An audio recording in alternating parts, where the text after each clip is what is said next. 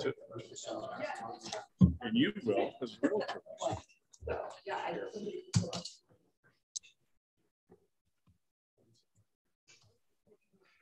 I treat it day because if you go late, it's Chairman, we're live.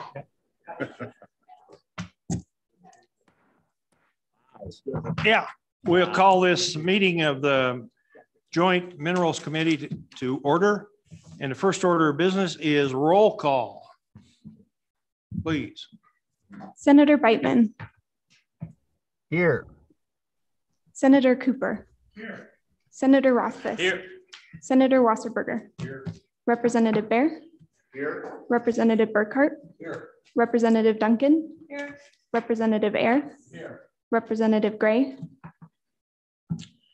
Excuse. Representative Heiner. Here. Representative Sherwood. Here. Representative Western. Here. Co-chairman Anderson. Here. Co-Chairman Greear. Here. Mr. Chairman, you have a quorum. Wonderful. Then we can conduct business. Wonderful. Uh, we have a special guy to introduce today. Uh, he's now the in, or going to be the interim supervisor for the Wyoming Oil and Gas Commission. Uh, he's been with the commission for 11 years, been the deputy for seven years. So he's quite capable of stepping in and, and taking over after July 6th. So Tom Kropatsch, would you please stand and be recognized?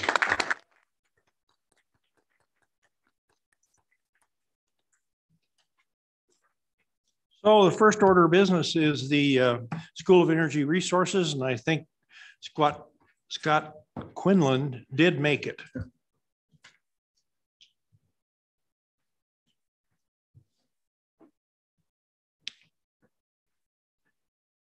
Introduce yourself and, and abide all the rules.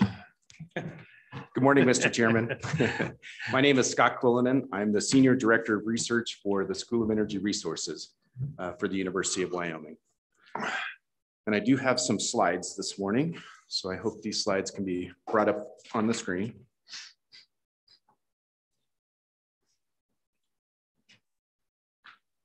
Next slide, please. So, Mr. Chairman, um, here at School of Energy Resources, we are very mission driven. We're laser, laser focused on that mission, uh, which is energy driven economic development for the state of Wyoming. For the folks on the committee that aren't as familiar with the School of Energy Resources, um, you should look at us like a hub for energy academic outreach and research on the campus University of Wyoming. We're funded separately from the university, and, and that is by design. It's to increase our reach and our impact across campus. Uh, we have 10 different faculty members. They're located in seven different departments around campus, and we're often called the gateway for industry. So I just wanted to provide that little bit of background on the School of Energy Resources. Next slide, please. This morning, I'm going to talk about three topics. First is the importance of carbon capture uh, for our state and for our nation. Second, I'd like to just identify some other projects that we're working on on carbon capture and storage at the School of Energy Resources, and then I'm privileged and excited to give you an update on the Wyoming Carbon Safe Project. Next slide, please. And next slide. Mr. Chairman, if you examine the image on the left, it shows a polygon, a yellow polygon placed over the Powder River Basin in Wyoming. And it places thumbtacks across the United States where Powder River Basin coal is shipped. If you look at the image on the right, that provides a heat map of the carbon emissions across the United States. It doesn't take very much study to realize that a lot of those carbon emissions are tied to Powder River Basin coal. But what I'd like to point out is almost underneath every one of those emissions that's shown on the image on the right in crosshatch is the potential for saline aquifer storage. That is the potential to capture carbon dioxide from those point source emissions and store it on site. Next slide, please.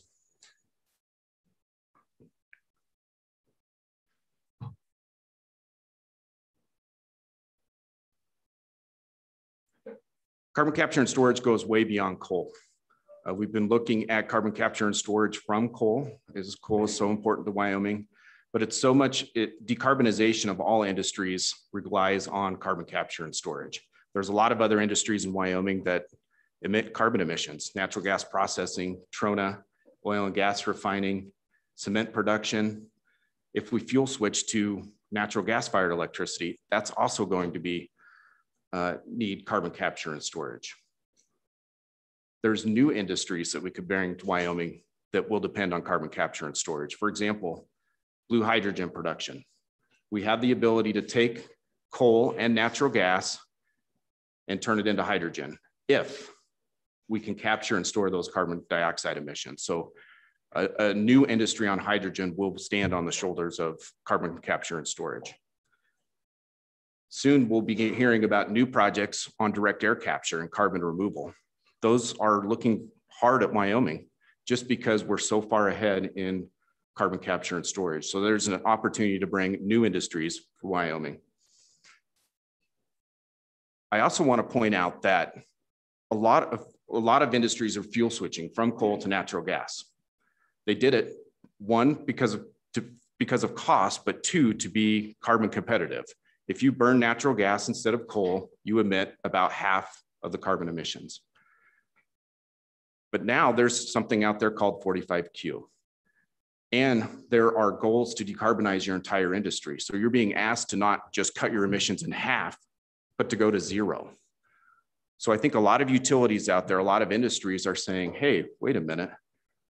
We switched to natural gas so we could be half of the carbon emissions, but now you're telling us we have to go all the way to zero.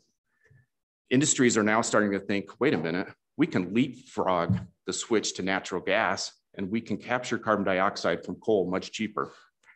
And with 45Q, we get a lot more in tax credits for the more CO2 we, we emit.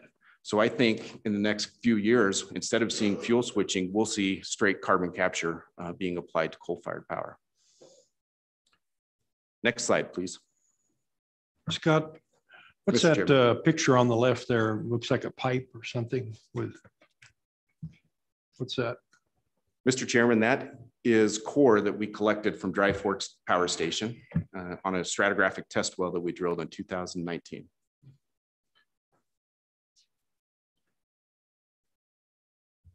Next slide, please. And one more. Thank you. Before I update you on the Wyoming Carbon Safe project, I want the committee to, to know that we have a lot of other research projects around carbon capture and storage that we're working on. We're part of the Plains CO2 Reduction Partnership. Uh, this is led by the University of North Dakota Energy and Environmental Research Center. We're also partnered with uh, University of Alaska on that. Those are three states that are fossil dependent. We have over 200 industry partners, and the whole goal of that program is to commercialize carbon capture and storage. Number two, the flameless pressurized oxy-combustion. This committee is well known or knows that project well. The FPO, we call it. It's a new combustion technology that combines the combustion of fossil fuels in the presence of pure oxygen and pressure to emit only a pure stream of CO2, which makes capture very easy. This is could be a next generation combustion technology for coal, natural gas, and biomass. Mr. Chairman. Yes, Representative Burkhart. Thank you, Mr. Chairman. Scott, where do we stand on the FPO project? I know the DOE declined to uh, fund that research. Uh, any update on, on where we're going with that?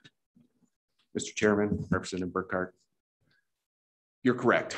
That proposal was not funded by the Department of Energy.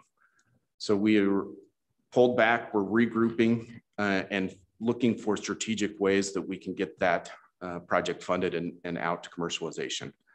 Uh, we're looking at paths both for private and Mr. Representative Burkhart, to be honest, in this new administration, they're not going to fund new coal combustion projects. So we've got to look for um, state and private investment to move that project forward. Scott, is that retrofittable to a current uh, power plant or does it have to be a new installation? Senator Anderson, it is uh, it's kind of a hybrid. So it's not really a post bolt on at the end. It's something that goes on in the front. So you would um, concentrate the oxygen and then you can combust it that way. But it could be installed at, at current locations. Oh, yes. Thank you, Mr. Duncan. Thank you, Mr. Chairman. So how far along are we in this research to be able to, um, is it just lack of funding?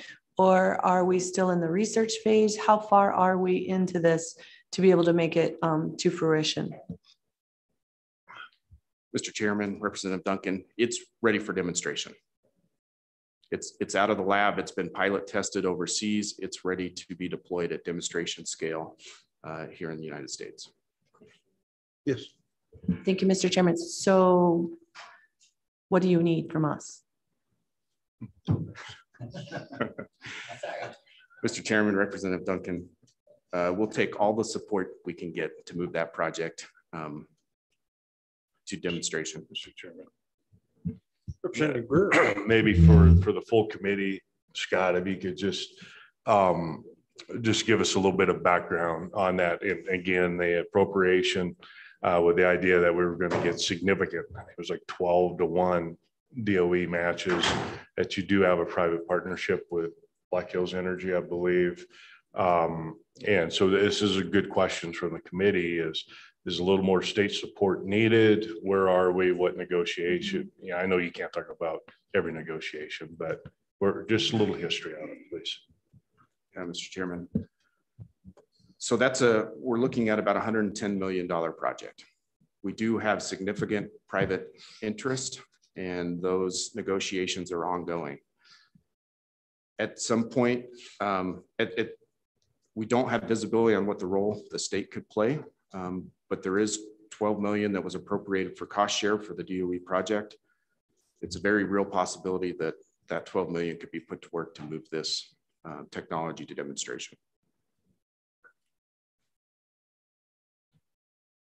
Thank you. Go ahead. Mr. Chairman, I'd like to draw your attention to the third bullet there, the Wyoming Carbon Underground Storage Project. This was a project that was started nearly a decade ago. We drilled a well at the Rock Springs Uplift, fully characterized the Rock Springs Uplift for geologic storage potential. 10 years ago, it was a research project. Today, it's a real commercial reality. The Rock Springs Uplift has the potential to store 25 billion tons of CO2, billion tons. That's over 400 years worth of all of Wyoming's emissions. If we could capture them all, ship them to the Rock Springs Uplift, put them down hole in those formations, we would still have excess capacity. The Rock Springs Uplift could be a large regional storage hub for the state of Wyoming. It sits mm-hmm. directly below. Question, question. Representative Burkhart. Scott, sorry to interrupt your presentation, but so with the, the underground storage project, why aren't we using it commercially right now? What are the holdups? What do we need to do about them? I mean, if it's there, it's proven itself. Uh, why aren't we currently using? Why isn't a company out there uh, selling their wares, so to speak? So, Mr. Chairman, Representative Burkhart, I do believe that there's a lot of private uh, interest in it right now, working on just that. Well, Scott, one of the problems is you've got to capture that CO2 from the stack or wherever you're going to get it from to put it in the hole. And we don't have that leg put in there yet. We don't want to just sequester CO2. We want to capture the stack, don't we? Mr. Chairman, you're absolutely right. The capture component uh, needs to be put in place. I would make the observation that the Rock Springs uplift is, lies directly below the Jim Bridger power plant.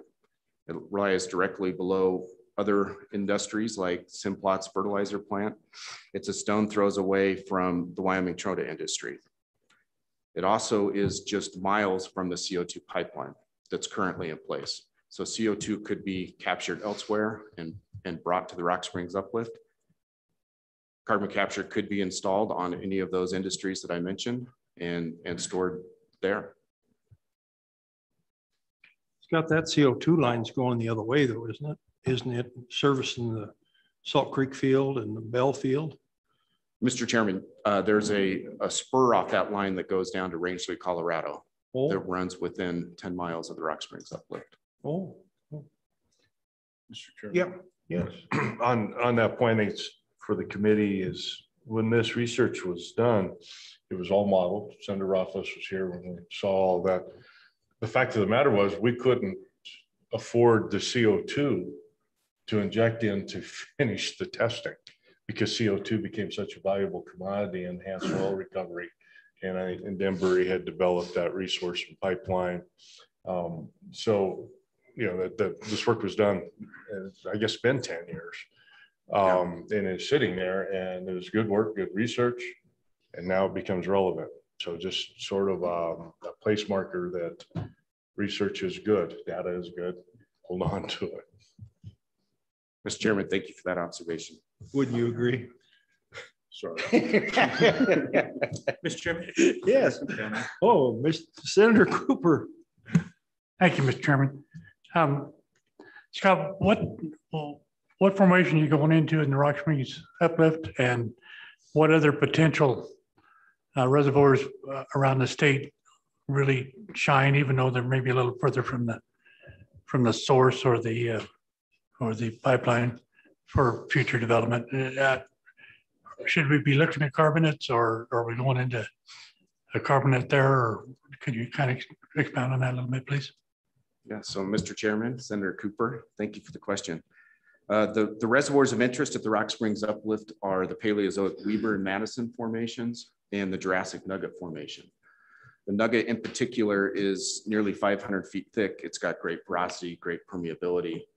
Um, it could be one of those world-class reservoirs that, that textbooks write about.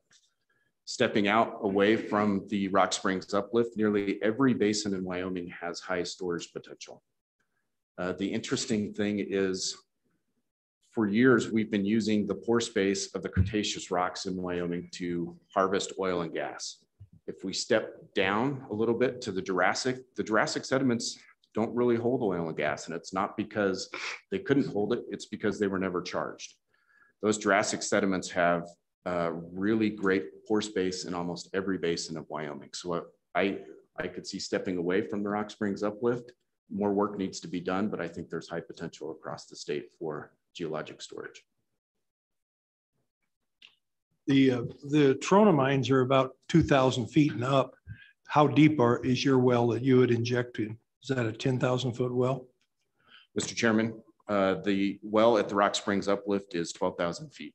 So over two miles below the surface, well below the minerals that are produced today.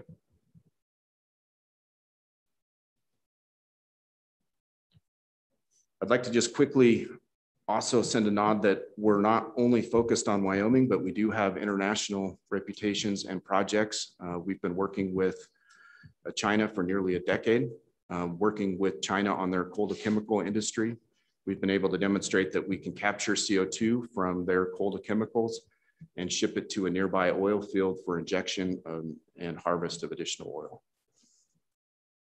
Number five, I'd like to just point out we have one pending proposal um, that is looking at a feed study on a new hydrogen facility that would be placed here in Wyoming.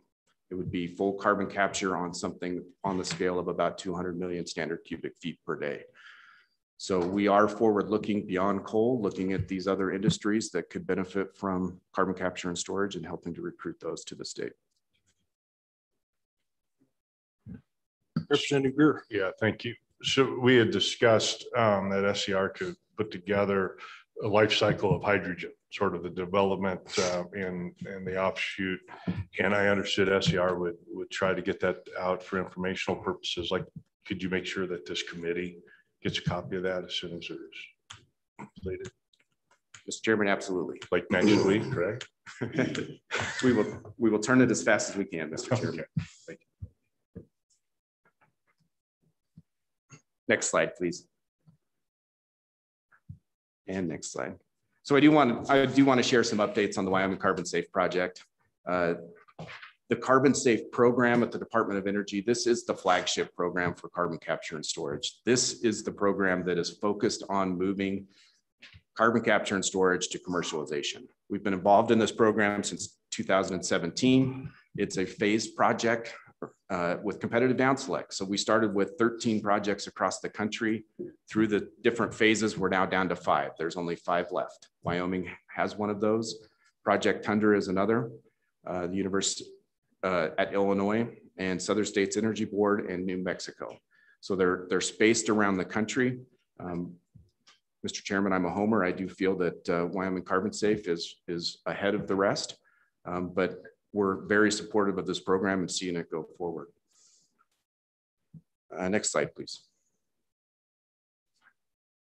So what is carbon safe? We're, it's the geologic storage component. So we're looking at the feasibility of geologic storage at Dry Fork Station near Gillette, uh, just north of Gillette. Uh, we're looking at problems like how big is the storage tank? How much CO2 can we put down? Can we do it economically? Can we do it safely?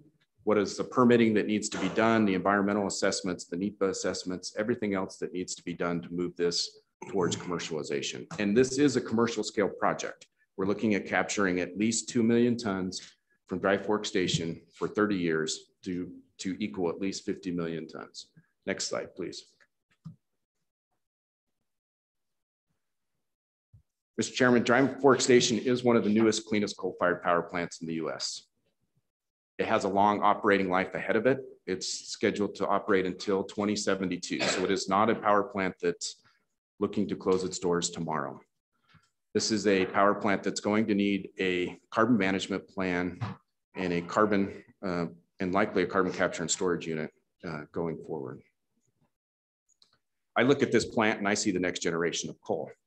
I think that what's missing from carbon capture and storage today is that one first impression project that tells the United States that we can capture carbon dioxide from coal, we can do it economically, we can do it safely, and we can store it permanently.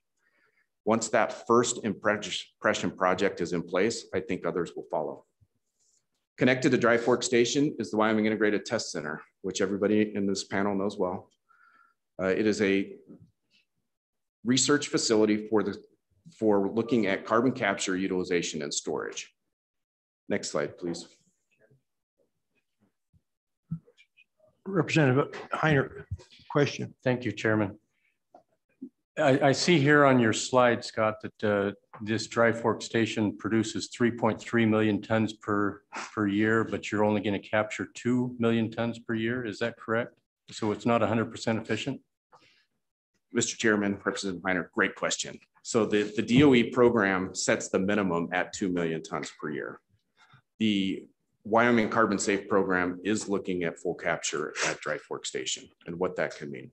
So the reservoir won't be able to handle 30 years then if you capture 3.3 million. Is that is that possible? Mr. Chairman, Representative Heiner, all of our models are looking at, are adapted to the CO2 outputs at Dry Fork Station. So we are looking at full capture and storage. Thank you. So full, full, full capture for 30 years? Yes, yes. So the, the parameter set by Department of Energy says you, to, in order to qualify, you have to capture at least 2 million tons and you have to do it for 30 years. So they set that to, to ensure that we're working on commercial large scale projects. This, this plant would actually, you'd actually be capturing it for what, uh, well, 40, 50 years, 50 years. Would we run out of storage space or does that storage space sort of expand? Mr. Chairman, we've got plenty of storage space that it would it would require just drilling and stepping out with additional wells. Oh, oh. yep. Mr. Co-Chairman. Yeah, thank you.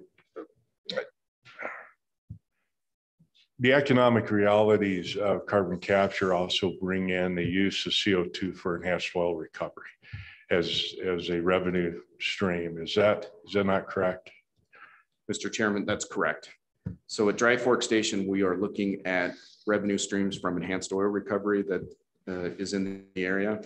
We're looking at revenue streams from potential carbon credits, uh, revenue streams from 45Q, uh, all of those put together to, to develop the economic model. Mr. Yeah. Chairman. So while you're meeting the parameters of the carbon safe program um, for the 200,000 tons of capture, the, the reality is, is that economics um, and political environment may dictate that that CO2 is used otherwise and not just sequestered. Is that, is that fair? Mr. Chairman, that's absolutely true. And so then follow up. Yeah. And so I assume you're working closely with EORI, uh, which is a component that reports to SER and in communicating. And uh, also again with the WEA, Wyoming Energy Authority, that we all look at all the above options associated with this. Mr. Chairman, you're absolutely right. We are working closely with the Enhanced Oil Recovery Institute, the Wyoming Energy Authority.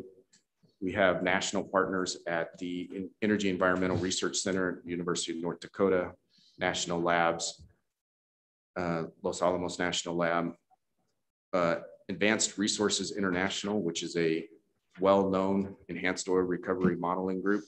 Um, so we, we're putting a lot of bright minds together and working all together on this project. Scott, uh, if we're going to sequester that for EORI, I'm assuming we're working with the Petroleum Association of Wyoming also for where we're, who's going to use it. Mr. Chairman, that's a team member we haven't added that we will. Yeah. Thank you for the suggestion. So they need something to do anyway. oh, yes, Representative Heiner. Thank you, Mr. Chairman. Uh, Scott, I, I see that you're you're focusing on membrane technology for the CO2 removal. With a little bit of experience that I have with membranes uh, with CO2 removal, they do plug up. And so what, what's your projection for replacing the membrane? Is it, is it going to last for 30 years or how often will you have to replace that membrane? Yeah. Mr. Chairman, Representative Heiner, I don't have the answer to that question. So we are working with membrane technology research out of Southern California, and that, that is their novel technology that's being applied to uh, the capture at this plant. Um, so it's in development stage, and I think that's one of the questions they're at, trying to answer is how long will these membranes last and how long um, and what the maintenance costs are going to be with it. Follow up? Yeah, you bet. Thank you, Mr. Chairman. One more question, Scott. As you try, as you experiment and, and uh, advance the CO2 capture, what is your biggest hurdle from a technology standpoint to make this economically viable? Mr. Chairman, Representative Heiner, the biggest hurdle for me is getting all of these moving pieces together and working in stride. Um, so to date, the carbon storage program has been working over here and the carbon capture program has been working over here. As we move into this third phase of carbon safe, for the first time, we'll be seeing these capture technologies and storage technologies working together. So I think one of the biggest hurdles is getting everybody in the same room moving forward in the same direction. I also think that there's a lot of hurdles um, from a regulatory, maybe permitting perspective. Uh, we haven't permitted a class six well yet in Wyoming. And in fact, there's only been two class six wells permitted in the entire United States. So that's another first impression type of project that we need to do. There's other things, other questions that are out there around pore space. Uh, what can we do on federal pore space? What can we do with liability? So Mr. Chairman, Representative Heiner, there still is a lot of questions out there and, and we're working frantically and at a high speed chase to, to answer those. Scott, the two wells you've drilled, what class are they? Are they class two? Or you didn't didn't put them as class six? Uh, Mr. Chairman, they will eventually be fully permitted class six wells with the approval of Department of Environmental Quality. We started with a, uh, we did drill a well in 2019 as a stratigraphic test well. We will be out there in August and September, hopefully drilling our second well. And that one will be permitted as a class one. Why are we going with the class one well? We want to do some brine injection tests so that we can understand what the flow is in those formations and dial in our models so that we can use those for the class six permit. The class six wells don't allow for brine injection, class ones do. So we're starting with the class one and we will amend to a class six well. The brine, does the brine act like uh, CO2 in the reservoir? It would seem like it would be a little heavier than the CO2. Mr. Chairman, uh, astute question. It is a little bit heavier. It's a little more dense. Uh, CO2, when it's injected into formation at those depths, is a fluid. It's not a gas anymore. It's called it's a supercritical fluid. Oh, oh, so it does behave much more like a brine oh. than a gas. Um, so it brine is a good substitute and it can tell us a lot of information about that formation without putting CO2 into it. Hmm. Yes. Senator Cooper. Thank you, Mr. Chairman.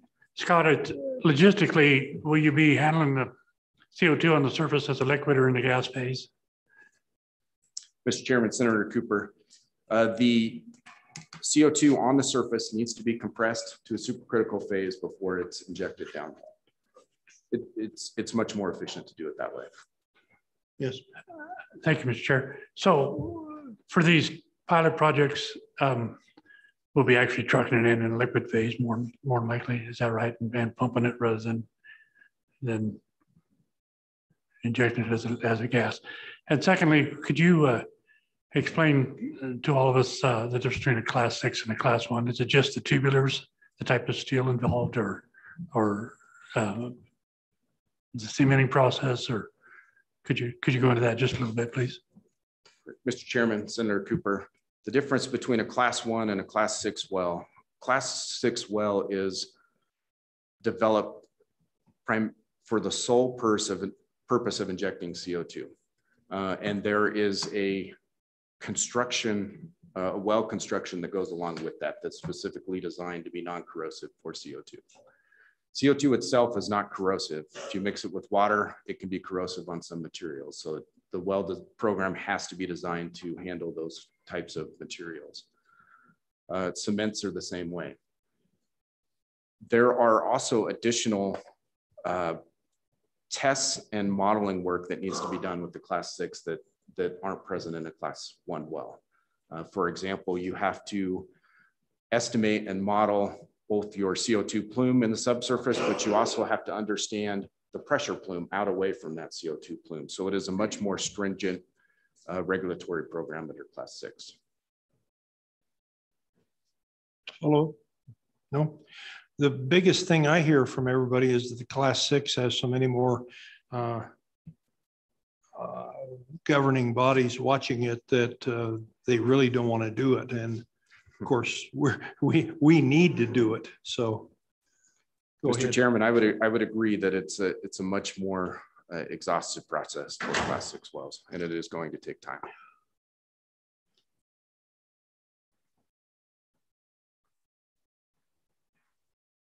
Go so ahead. to continue, I'd just like to point out the yellow square there is the location of the Wyoming Carbon Safe Project. So that's approximately 2,400 feet south of Dry Fork Station. So you've got Dry Fork Station there, the newest, cleanest coal-fired power plant in the US. You've got the Integrated Test Center, which is the CO2 research facility, and, and we have the Carbon Safe project there. So we've got significant private, federal, and state investment all working together in this, in this one location. I think that really is a recipe for success.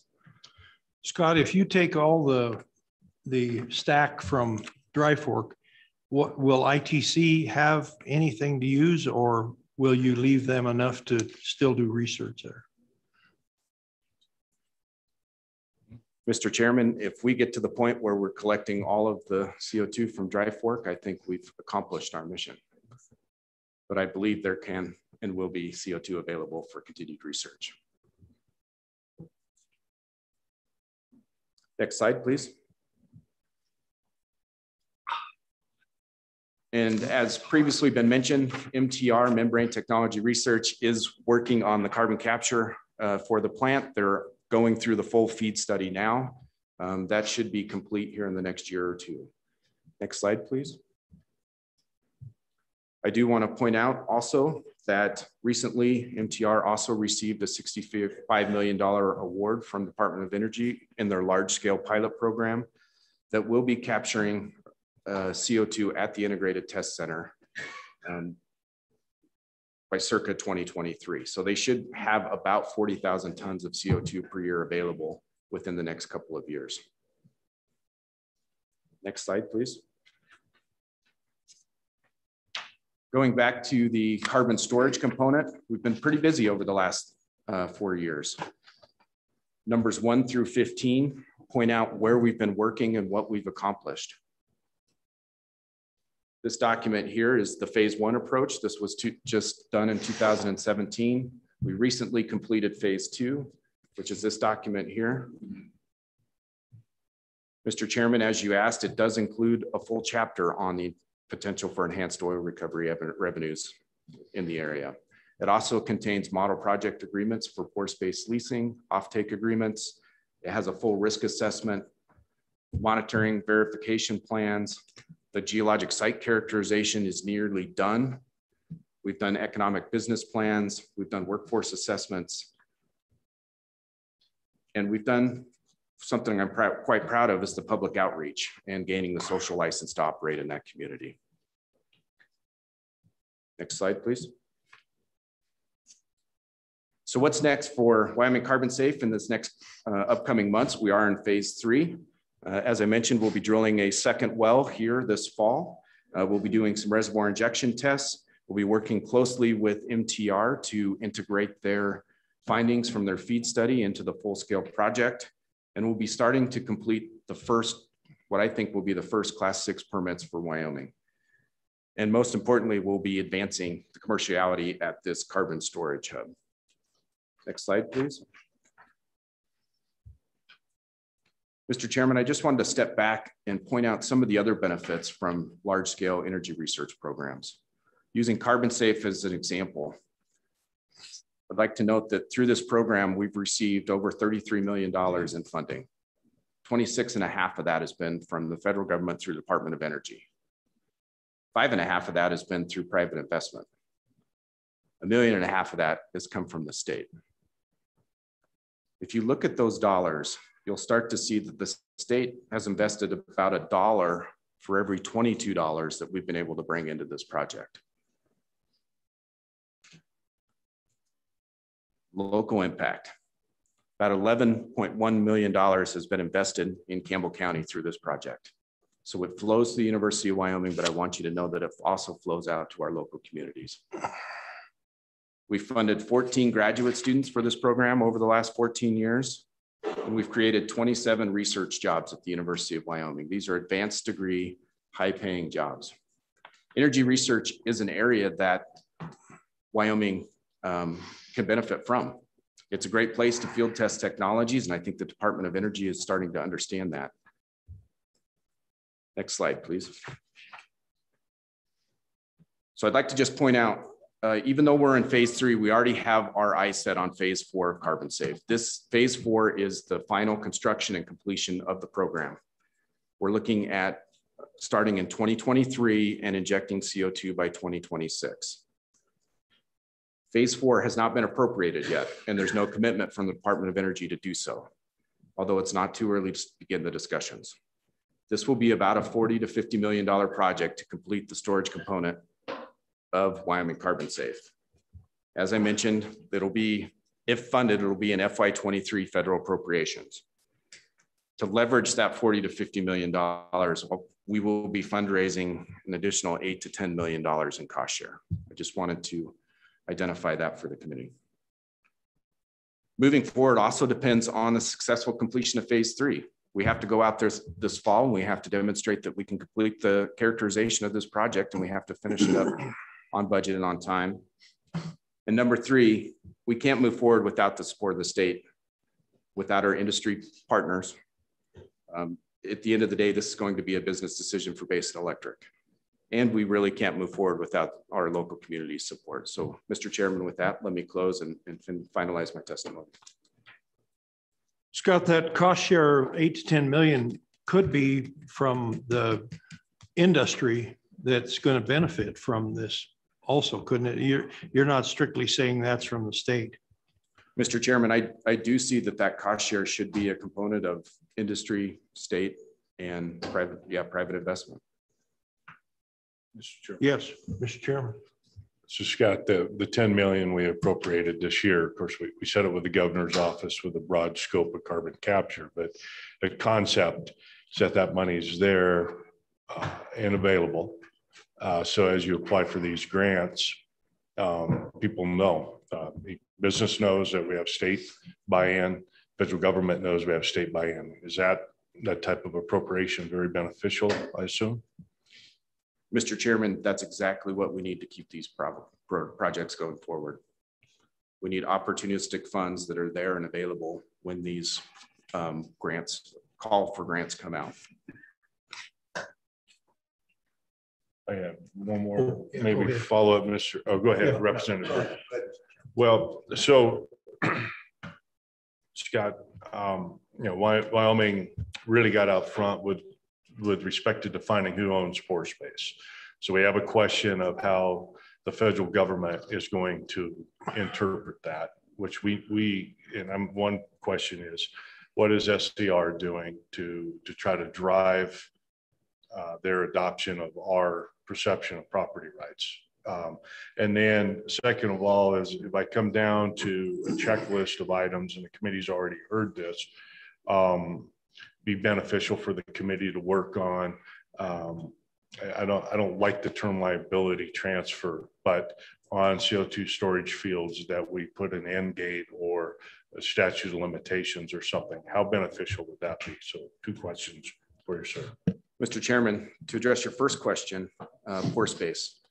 We do have a lot of federal lands in Wyoming and the federal government has yet to determine how they're going to look at pore space from a carbon storage perspective. SER is working on that. There's a chapter on that in this, in this report. And Professor Tara Righetti is working closely with um, our federal delegation and others to ensure that that conversation is upfront and, and being had. Mr. Chairman, to answer your second question, liability. I do think liability and, and the potential to transfer uh, would help spur industrial development, at, least in these early projects. They're looking for, like I said, there has not been a first impression project out there. Um, and the risk of liability is something that the private industry is, is considering. Scott, would that uh, liability be something Kager would be looking at? Uh, Mr. Chairman, yes, we are, we are looking at it. I could also point the committee to how uh, North Dakota is looking at it. So there are other states that are out there. Um, we could provide a summary of, of what other states are doing and, and some recommendations for uh, that moving forward.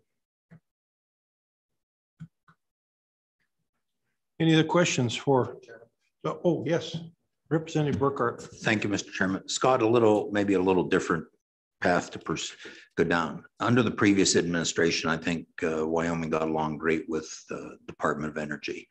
How, how's our working relationship with the current administration? Mr. Chairman. I know that's a loaded question. Mr. Chairman, Representative Burkhart, it, it's no question that the priorities of this administration are different than the last. Um, funding, and, and we're going to see it in funding and appropriations. For example, the, the president's budget cuts the oil and gas research program, cuts it from the federal appropriation budget. Um, how is our relationship? The, the folks we have worked with for years at Department of Energy are still there. So the relationship is fine, priorities are changing and funding is going to be put in other buckets. So I think our approach and our how our angle, um, how we approach these projects is going to be important. Mr. Chairman, follow up. Yes. So uh, Scott, are we positioned to take advantage of funding in those other areas to apply for it and potentially get it? Mr. Chairman, Representative Bur- Burkhart, absolutely. Um, so there is going to be a lot of funding still in carbon management, carbon storage. We're positioned well there. We're positioned well to uh, respond to funding proposals on critical minerals and rare earths, which is obvious it's going to be a new uh, area of focus for this administration. And, and, and there's several others. Hydrogen in particular, I think is, is one that we're uh, focusing on too. Other questions for Mr. Quillinan? Other questions? Other questions? Hearing none. Thank you, Scott. Thanks for coming up and addressing us. Thank you, Mr. Chairman. Is there public comment uh, on this subject? Any public comment on the extra work we're sending to the PAW? No. Nobody, nobody online that wants to speak on this? All right, public comment is closed then. We'll move to the next subject. Mr. uh, Chairman? Yes. While we're on this subject, I would um, offer a motion that we ask LSO to draft, uh, uh, prepare a bill draft for our consideration for the rest of the interim uh, regarding the transfer of liability based off the North Dakota model. Moved and seconded for LSO to prepare a bill for uh, pore space liability. Is that what we're Yeah. talking about? Yeah, Sounds good. Pore space liability. And they can just rate that bill and solve that problem. Mr. Mr. Chairman, Yes. O- one thing with that, uh, I think in there, we need to maybe come up with a different term than pore space liability. I I know that'll take some work. I don't have anything on the top of my head. But again, it's perception rather than fact. Uh, Yeah. That we can, I think we could word it to, to do that. Uh, and I can work with LSO on that. There's also been some work done in the Gulf of Mexico on storage and those issues. Yes. Thanks, Mr. Senator Chairman. Rothfuss. Uh, We do have a definition of pore space ownership um, from the original carbon sequ- capture and sequestration legislation, which was what, 11, 12 years ago or something, when that was passed, if I'm not mistaken. So we want to make sure that we're statutorily conforming with that. So we, we might be stuck with some terms unless we want to change those terms. But um, I, I do agree that we should be thoughtful about what we're calling it and, and how we're treating it as we move forward. Okay. LSO, you got that? You're gonna fix all that? Okay. All right. Now we'll move on to the next subject. Next subject is nuclear power generation in Wyoming. And we have. some- Mr. Chairman, do you want to take a vote on? Yeah. Oh, excuse me, excuse, He just assumed it. yeah. Did you want to take a vote on that? So, so the motion is to uh, prepare a bill for a pore space, whatever we're calling liability. We're going to change that word. We're gonna take a vote on that? We're not going to take a vote on it. If there, if there be no objection, we'll cast a unanimous ballot. Is there any objection? All right, we'll cast an unanimous ballot on that then. Good work. Campbell County guys wanted to. vote. Yeah, they did. Yeah, they did. All right, now, now are you satisfied, Senator Wasserburger? Now we'll move to nuclear power generation in Wyoming.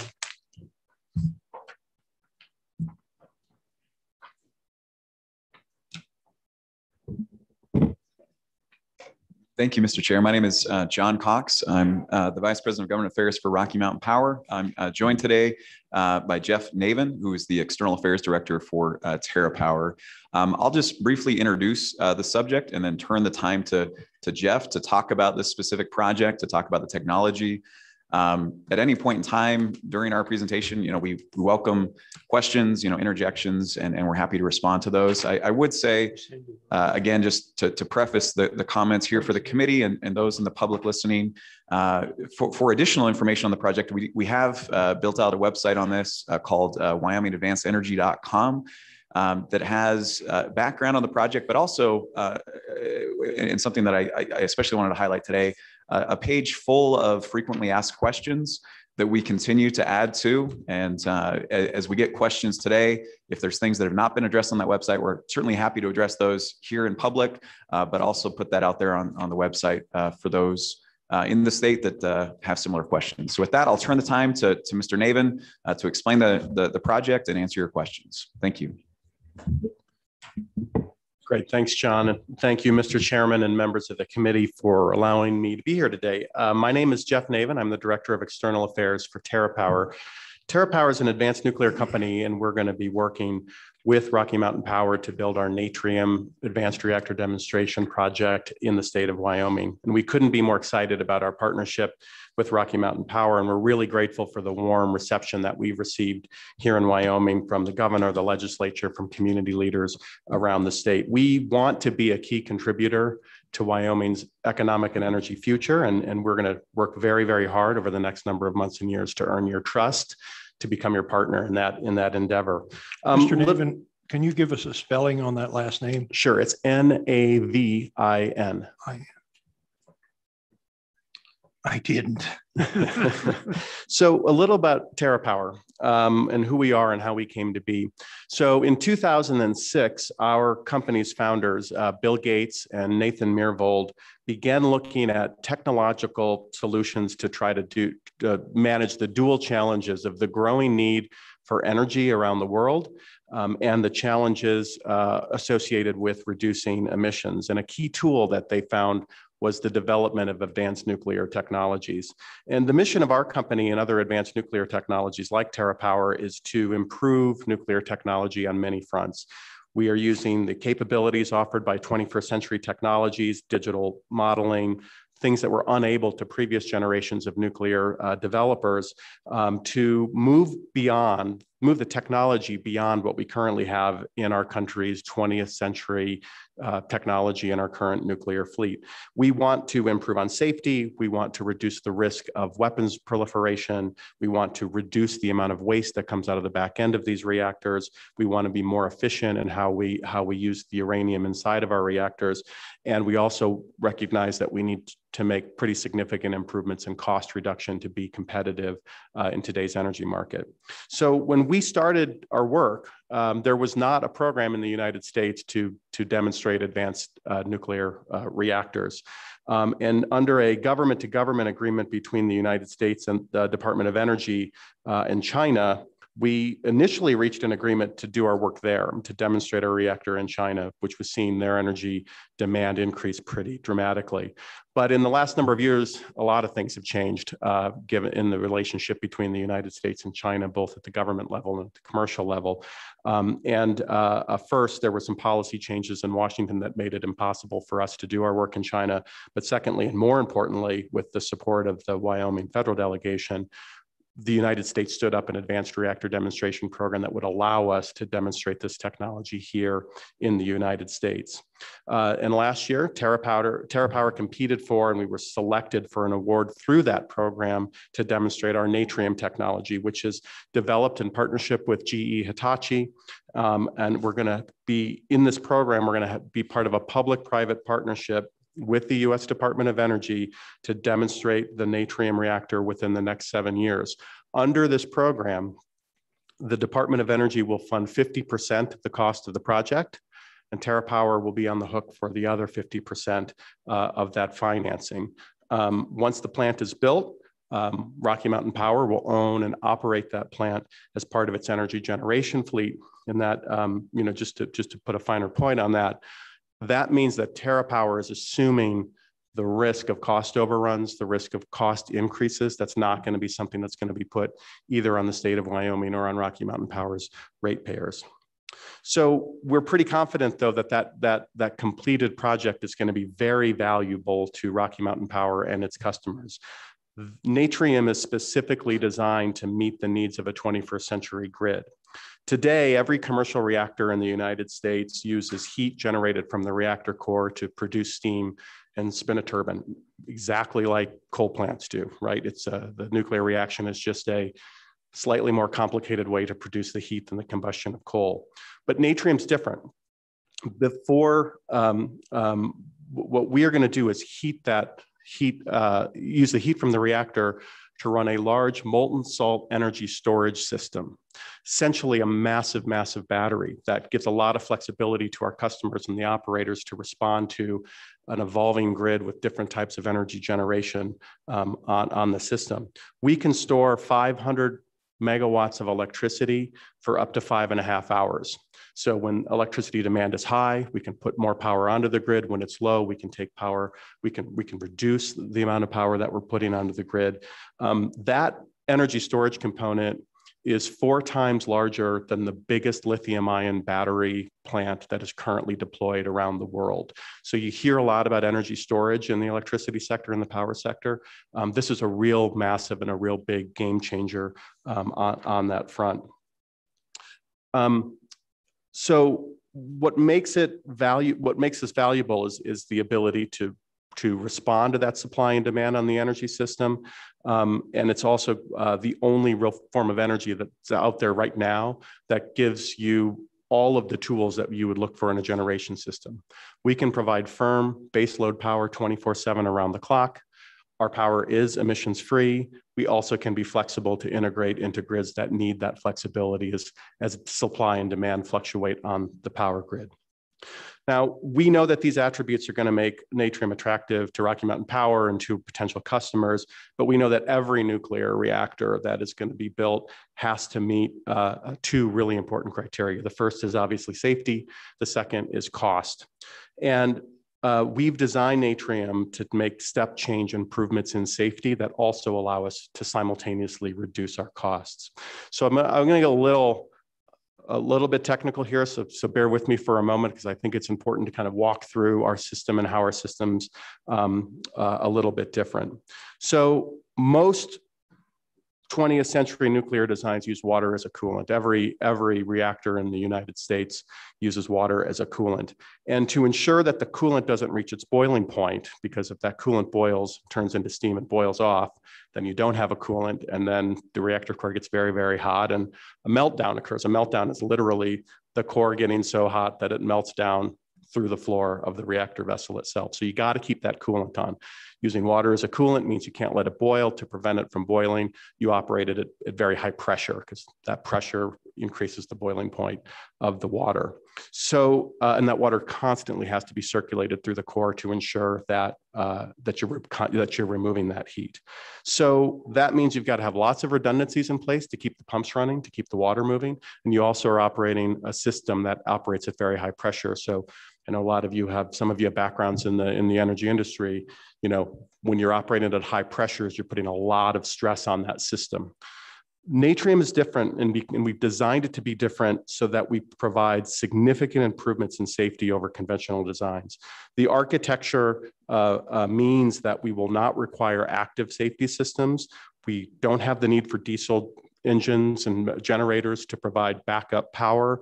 Um, we don't have to have multiple backup systems and, and, and or even human intervention in most, most um, emergency scenarios. So instead of water, natrium uses a liquid metal, sodium, as our coolant. That's where we get the name for the reactor. Natrium is the Latin word for sodium. Sodium's boiling point is 882 degrees Celsius. Mr. Chairman? Um, yeah. Mr. Niven, I hate to interrupt you, but a question. We've Sure. heard both sodium and sodium salts. So just for Yeah. my clarification, are we dealing with a, with sodium metal or with a sodium uh, salt? So the reactor coolant is metal. It's sodium metal. Okay. Uh, gets hot enough, it turns into a liquid form. Um, and, and, and that's what's get actually in the core itself that cools the, the reactor vessel. We use a molten salt storage system, which is, uh, you know, a different chemical compound. Um, and if you look, so there at the, at the, uh, I could just give you, this is, this is a, a you know, a, a- an architectural rendering of what, what the plant will look like. And obviously our graphic designer is going to predict that the drought will have ended by the time we, we build our reactor. Um, in the foreground, the taller building is the reactor, is the reactor uh, building. So the reactor is inside of that building. Um, and then you see the pipes that go from that building kind of in the center of the screen back to the, uh, to the, to the area with the two tanks. That's the storage system and the electricity generation system. So in the in that tall building in the middle is where the reactor is located. It's below grade. It's generating heat. It's heating up um, a, a salt, um, a, a, molten salt loop that comes in through those through those pipes. Hot salt goes out and goes into one of the tanks. It goes into that building in the back where the where the steam turbine is. It's an off-the-shelf General Electric steam turbine. Produces the electricity. The cool salt goes into the other tank. It waits there until it's needed, and then it flows back in and, and, it, and, it, and is heated. So that's just a little bit of an overview of what of, of what the system looks like. But yet the coolant is is sodium, the metal. The uh, working fluid for the energy storage system is a molten salt. Okay, thank you very much. Thank- Thanks for your question. So um, as, as noted, that liquid metal is a very high boiling point, And what that means is the reactor can't get hot enough to boil the coolant off. So in the event of, of, of, of an accident happening or a loss of power, we don't have to touch anything to keep the reactor from, from melting down. That's a, that's a big change from the current designs that, uh, that, that, that exist. And like I noted, we also operate at atmospheric pressure. We don't have to add pressure to the system to keep that coolant from boiling. And that means a lot less stress on our system. It means fewer redundant safety systems are necessary, which helps us control costs. Um, and, it, and it prevents, you know, high pressure, you have a leak, there's a there's an explosive release of that pressure. we don't have that, that challenge in our reactor.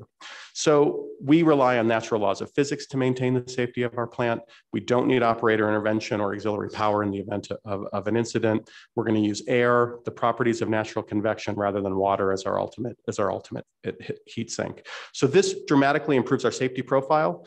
Um, if the reactor at Fukushima, for example, had been designed like Natrium, there would not have been an accident. The meltdown at Fukushima occurred when the auxiliary diesel generators were disabled by saltwater flooding associated with the tsunami. Um, they couldn't power the pumps, needed to circulate the water over the core. The water boiled off and the core melted. Natrium's coolant wouldn't have boiled off. It doesn't require the auxiliary power and it would have shut itself down independently by itself indefinitely and put itself into a safe state. So, and finally, you know, our reactor is roughly one third of the size of the larger plants that are operating in the United States. Um, our smaller size, our low pressure, our ability to use that coolant to absorb the high levels of heat both reduces the chance of an accident, but it also reduces the scale uh, uh of an incident. You know, um, we're at 345 megawatts. Typical big reactor in the United States is a gigawatt in size. Um, and again, because they have that high pressure that, that, that it does change the safety profile of the, of the area. So, you know, we've been working with some of the best minds in the country on our reactor. Uh, we've been working on this technology for 15 years. We've built on decades and decades of learnings on uh, traditional reactors, on sodium fast reactors, places like Idaho National Laboratory. Um, uh, but we, we certainly are not going to just ask you to simply take our word when it comes to safety, the safety of the state and the safety of your constituents. Um, so, you know, we are also not going to be able to do anything with this reactor unless until it's fully licensed by the Nuclear Regulatory Commission. We will be applying for a construction license, so they will sign off on our design, on our construction plans and the like. And then obviously we will seek an operating license from them in order to turn, turn the reactor on. The NRC is the gold standard around the world when it comes to nuclear safety. Um, and um, we have a very strong safety track record in the United States that's largely uh, due to the very stringent safety requirements that we are required um, to, to meet. Mr. Chairman. Question here. Senator Rothfuss. Thank you, Mr. Chairman. Um, Mr. Navin, uh, I'll, I'll start off by saying I'm a very enthusiastic supporter of this project and, and this work, but at the same time, I'm, I'm, we, have had conversations. I, I want to make sure that the the safety uh, concerns that have been raised are are thoroughly addressed, and I I want to hear some preliminary thoughts a, a, about the sodium concerns with previous sodium fast reactors and all of the work in, in the past, and and hear uh, what the approach is with natrium that's sort of different from some of the concerns that we've seen in the past. It, it's my understanding that you've you've got this you've got a molten salt that's coming into contact effectively with the through heat exchangers with the energy that's that's uh, being uh, put to the sodium, but the concern with sodium always is, you know, does it ever see air? Does it ever see water? If yes, bad uh, effectively. So what are the additional assurances? What, what is the, the new strategy here that addresses the concerns that have been raised through other sodium reactors in the past? And how is, how is natrium different when it comes to the handling of the, the sodium as the coolant? Great. Thanks, Mr. Chairman. Thanks for the questions, Senator Rothfuss. Um, so you're absolutely right. We are building, we're, we're taking very seriously the learnings that we've had from other sodium reactors, which have largely been test reactors, demonstration, you know, types of reactors. Um, uh, both in the United States and around the world. Um, the first thing that we've done is we've separated the water the steam part of the plant. Um, if you remember that it's actually literally across the fence hundreds of yards away from where the sodium coolant is. So um, um, we have uh, uh, put some of the issues that have happened in the past have been when you had steam generated directly uh, on top of that, that sodium piece where the sodium heat, the sodium's flowing through and creating the steam itself. So we've separated that by a significant, significant margin. You know, secondly, we've looked in great detail at all of the previous incidents that have occurred with, with sodium. When sodium uh, interacts with air, it does it, it, in sufficient um, volume and surface area can create a fire. So um, our so all of our sodium uh, piping is going to be wrapped with a, uh, you know, another, another uh, pipe around it with an inert gas filled uh, in between to, pre pre to prevent that fire. So if we did have a leak in a primary pipe, we would be able to detect it within the secondary pipe and we could shut the system down and address that problem before it got to a point where it was, um, you know, interacting with air. There are also some things, some very basic things that you can do in terms of um, um, changing the geometry of, of, of, what, a, what, a, what a catch plate could look like that could quickly smother a sodium fire. Um, if, if you did have, you know, if it got through those two layers of, of protection and it got into the, into the atmosphere.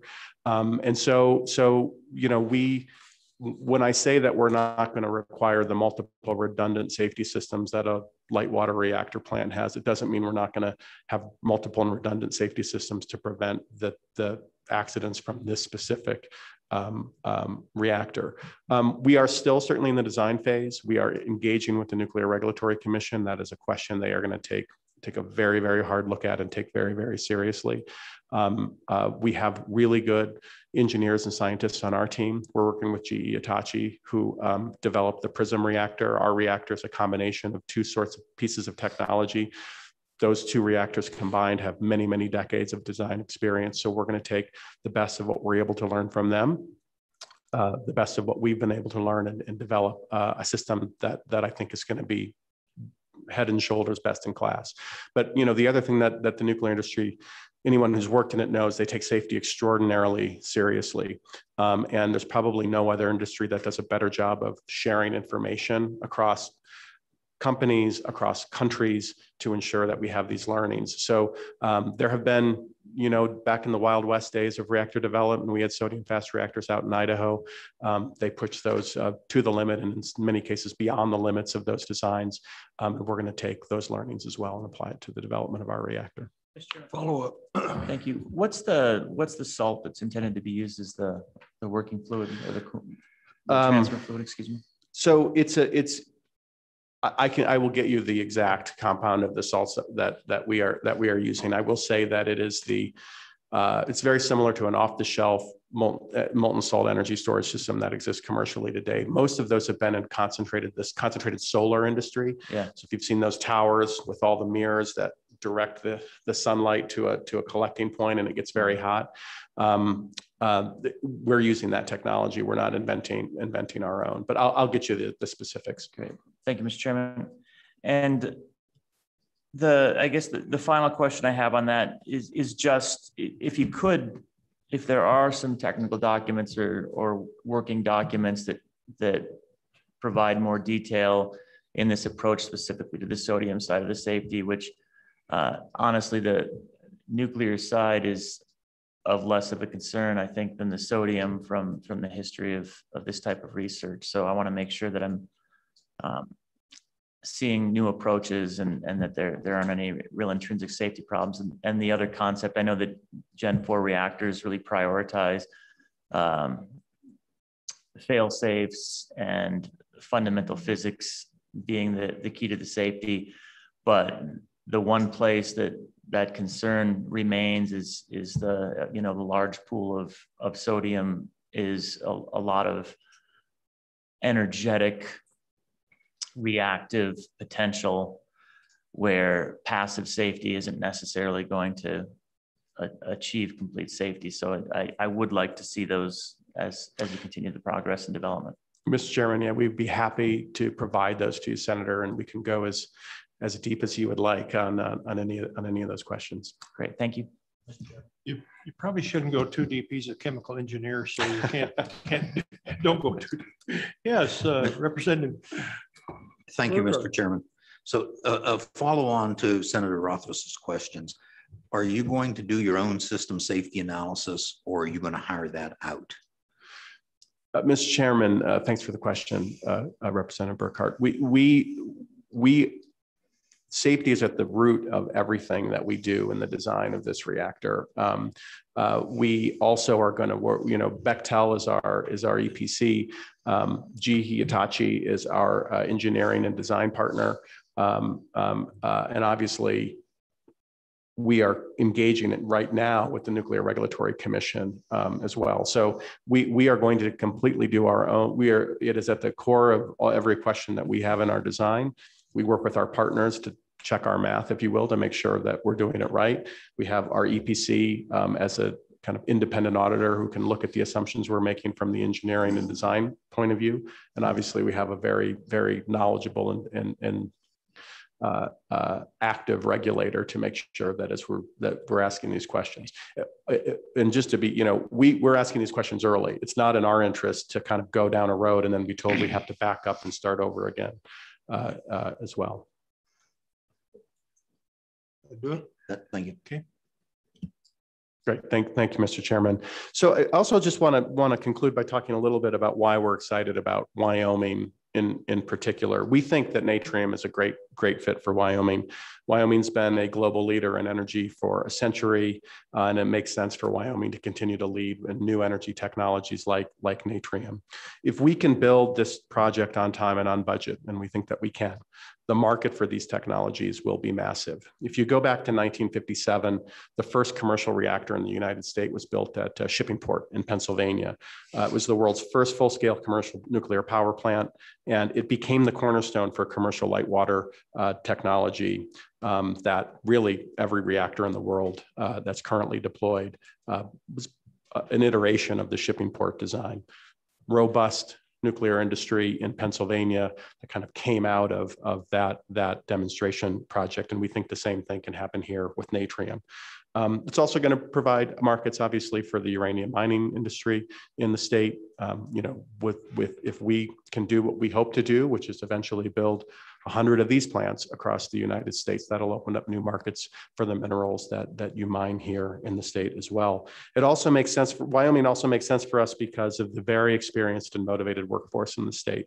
Um, we're building this, this project at the site of a coal plant that's being slated to be decommissioned. So that gives us access to things like the grid, it gives us access to water, but most importantly, it gives us access to a very highly skilled workforce who knows what it takes to keep an energy, energy generation plant online and operating. So we're going to need your highly skilled workforce to help us build our plant over the next number of years.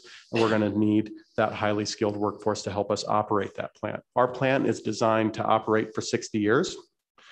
As we're seeing in the United States right now, many of those plants that have reached that 60 year time frame are now applying for license extensions that allow them to go to 80 years. So this is not a you know short-term relationship we're going to have with the community in which we site this reactor. We're talking 60 to 80 years of good high-paying jobs in that community and 60 to 80 years of providing reliable power to rocky mountain power and their and their customers. Mr chairman? Yes. Question here. thank, thank you mr chairman. Mr Navin, Navin. so let's talk a little bit about uh, the workforce. I mean this is somewhat of a research project uh, hopefully turned into a, a full power plant eventually. So what are you looking for, say, for construction workforce, uh, ongoing workforce, and being a research project, I would imagine that, you know, your workforce will have, you know, highs and lows of, of employment. But uh, could you go into that a little bit, please, of what the workforce is going to look like? And then uh, I'll extend that to, to Mr. Cox of when you get to operate the plant eventually, it becomes your property, your operation. What are you looking at in workforce? So if the two of you could please. Great. Th thank you, Mr. Chairman. Thank you, Representative Burkhart, for that question. So um, this is a demonstration program, but we are demonstrating a, demonstrating a fully commercial operating plant. This is not a prototype. This is not bench scale. We are going to deliver a commercially viable reactor and energy storage system to Rocky Mountain Power. Um, I can give you estimates. I can't give you exact number, obviously. Um, the time, you know, the timing, the time frame, and those things will matter. We estimate that we're going to need, um, you know, somewhere in the neighborhood of, of two to three thousand construction workers to build this plant. They're going to be pretty highly skilled construction jobs. You know, this is um, um, we have pretty high standards that we have to meet in terms of being able to construct something that can pass our NRC licensing. Um, and then uh, on the operation side, we anticipate between three and 400 jobs uh, over the next number of decades to, uh, to operate the plant. Um, I will just say one other thing on the jobs on the jobs piece, and I'm happy to turn it over to John as well.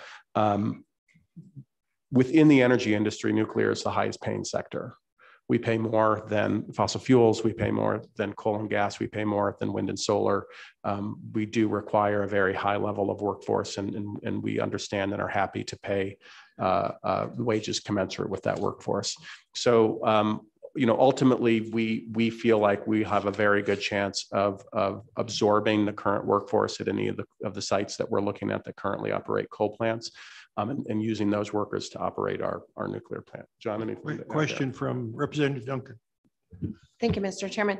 So uh, touching on what you just said about absorbing some of that workforce. So given the scenario, we have a power plant that's proposed to close.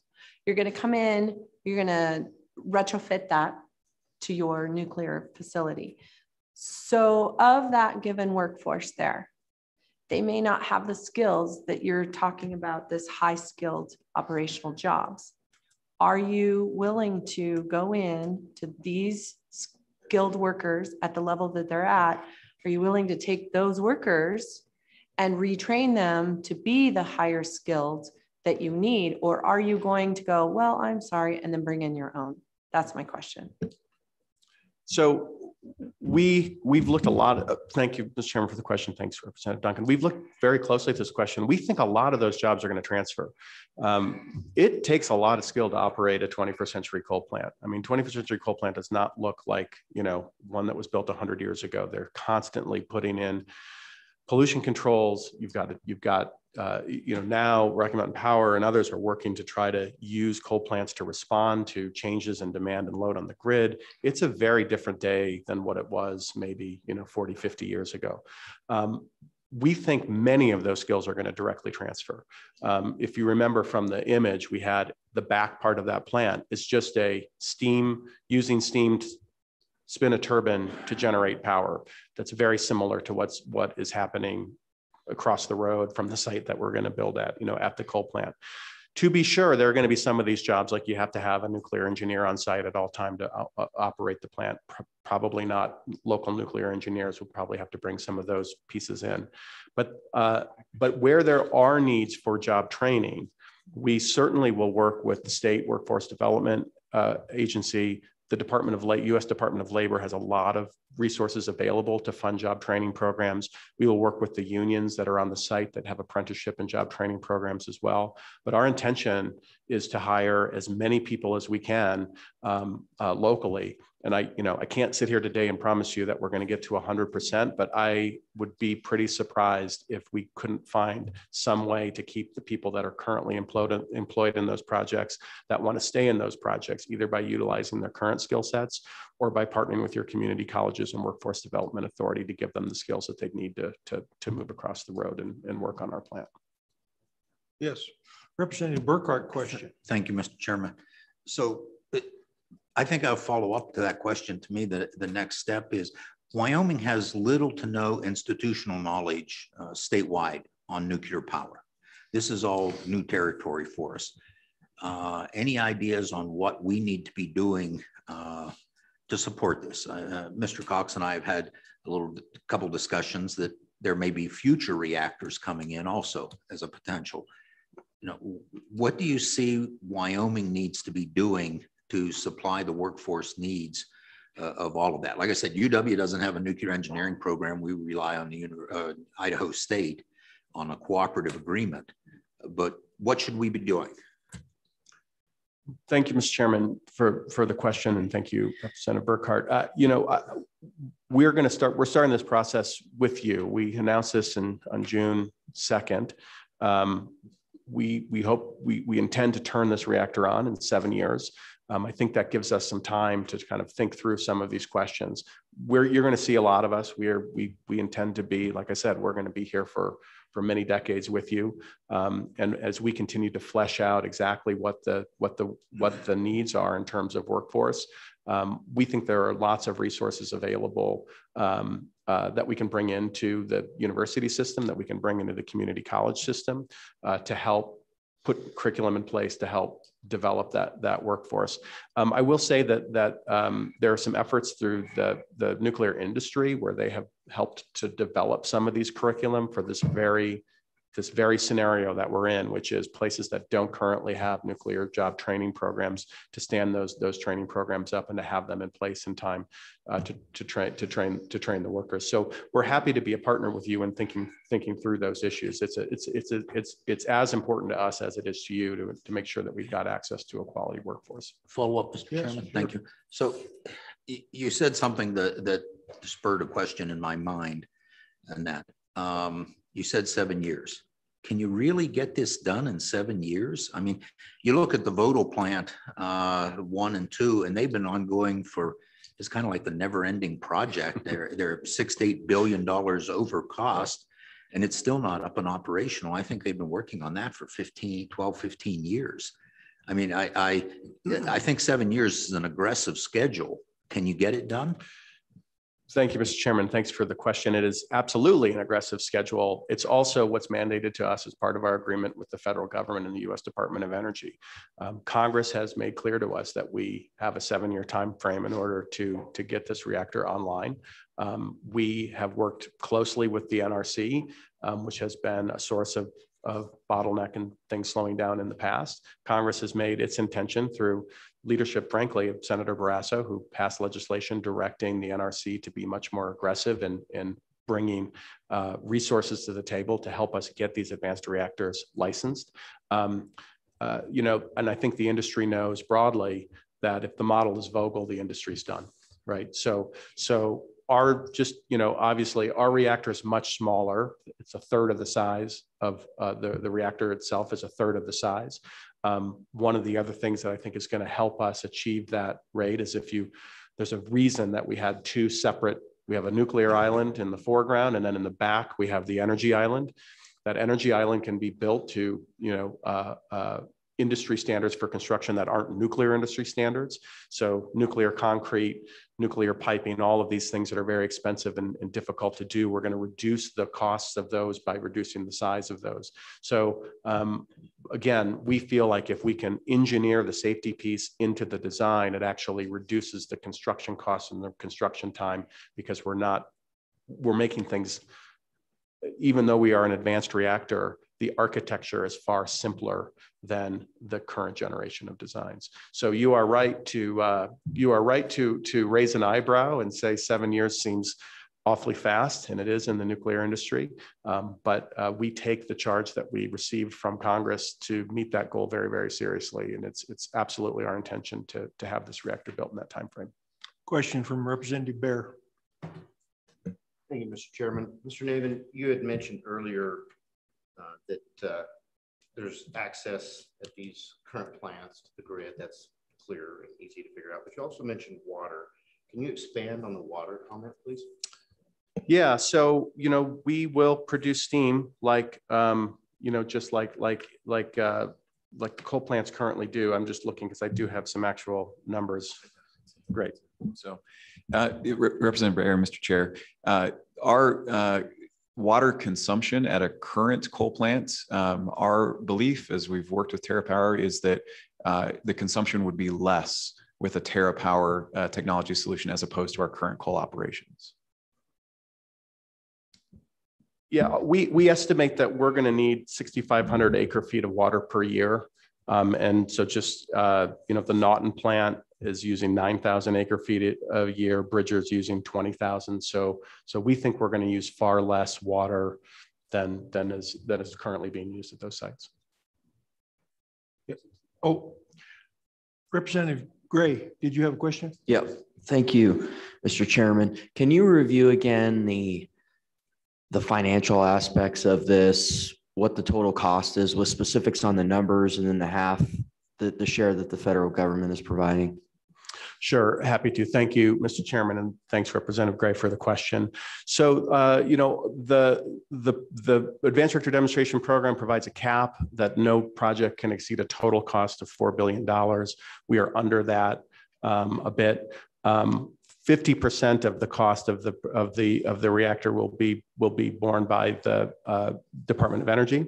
The other 50% will come from private investment. We're very fortunate to have uh, the chairman of our company um, be very committed to this and and um, be able to to make warranty that we'll be able to meet that, that private cost share. Um, but what we're not doing, which is uh, uh, referenced in the in the conversation about about Vogtle, we're not asking the ratepayers to to assume those costs. What we will eventually do is uh, transfer the ownership of of this project over to Rocky Mountain Power, and they will they will run it like uh, like they do all of their other assets on the fleet. Um, but it's not going to be one of these things where as the cost goes up, we come to you or we come to, to to the ratepayers of Rocky Mountain Power and ask them to absorb those costs.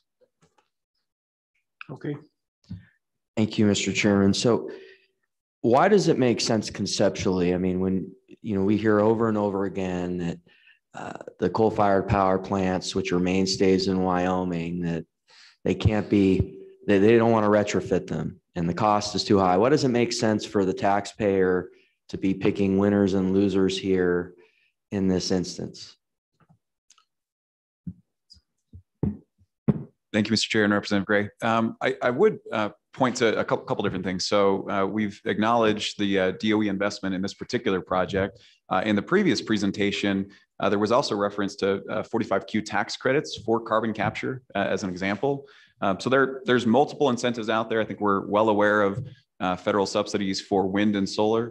Um, we can question whether or not there's a level playing field or, or not, but we, we operate with what's given to us and uh, this is an opportunity for our, our customers that uh, we're certainly taking advantage of. Mr. Chairman, Mr. Thank you, Mr. Chairman. But if you take the carbon capture stuff out and you're just going to say we're going to do it the way man has done this now for a long time, and we're just going to do upgrades to make it make it work again for for 50, 60 years. How much would it cost to retrofit a coal-fired power plant, you know, say in Glenrock? Yeah, Mr. Chair and Representative Gray. Uh, the operational life of these facilities is such that uh, they're coming to the end of that life. So it would not be so much extending the life 40 to 60 years. You'd be looking at building a, a completely new power plant. I don't have those numbers here in front of me here today. Uh, we do analyze all of those costs as part of our integrated resource plan. To Mr. Navin's point earlier, this will fit into that same planning process. And the costs that our customers would pay for an electron of electricity from any other source uh, they're not going to pay a, a, cent more for this uh, because of the protections that Mr. Navin has mentioned.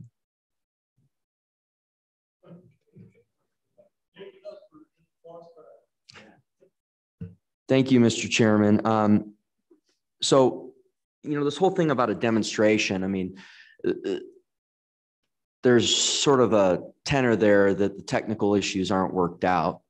So, what technical issues haven't been worked out and, and um, just so we have full transparency. Sure. Thank you, Mr. Chairman, and thank you for the question, uh, Representative Gray. So um,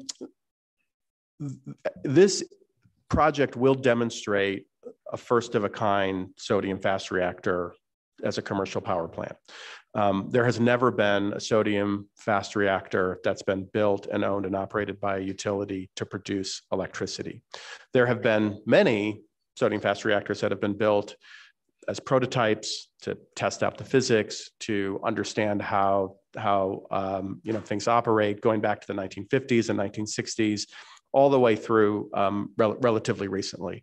A number of them have been built at the Idaho National Laboratory. Um, um they've been built in in places like Japan um, and other places uh, around the world. So we are taking advantage of previous R&D work that's been done to understand how these reactors operate. What we're doing for the first time is demonstrating that technology as a commercially viable civil power plant. So the technical issues, um, you know, that that we are going to come across for the first time, um, you know, integrating a sodium uh, uh, or in, integrating a, an advanced reactor with an energy storage system. That's never been done.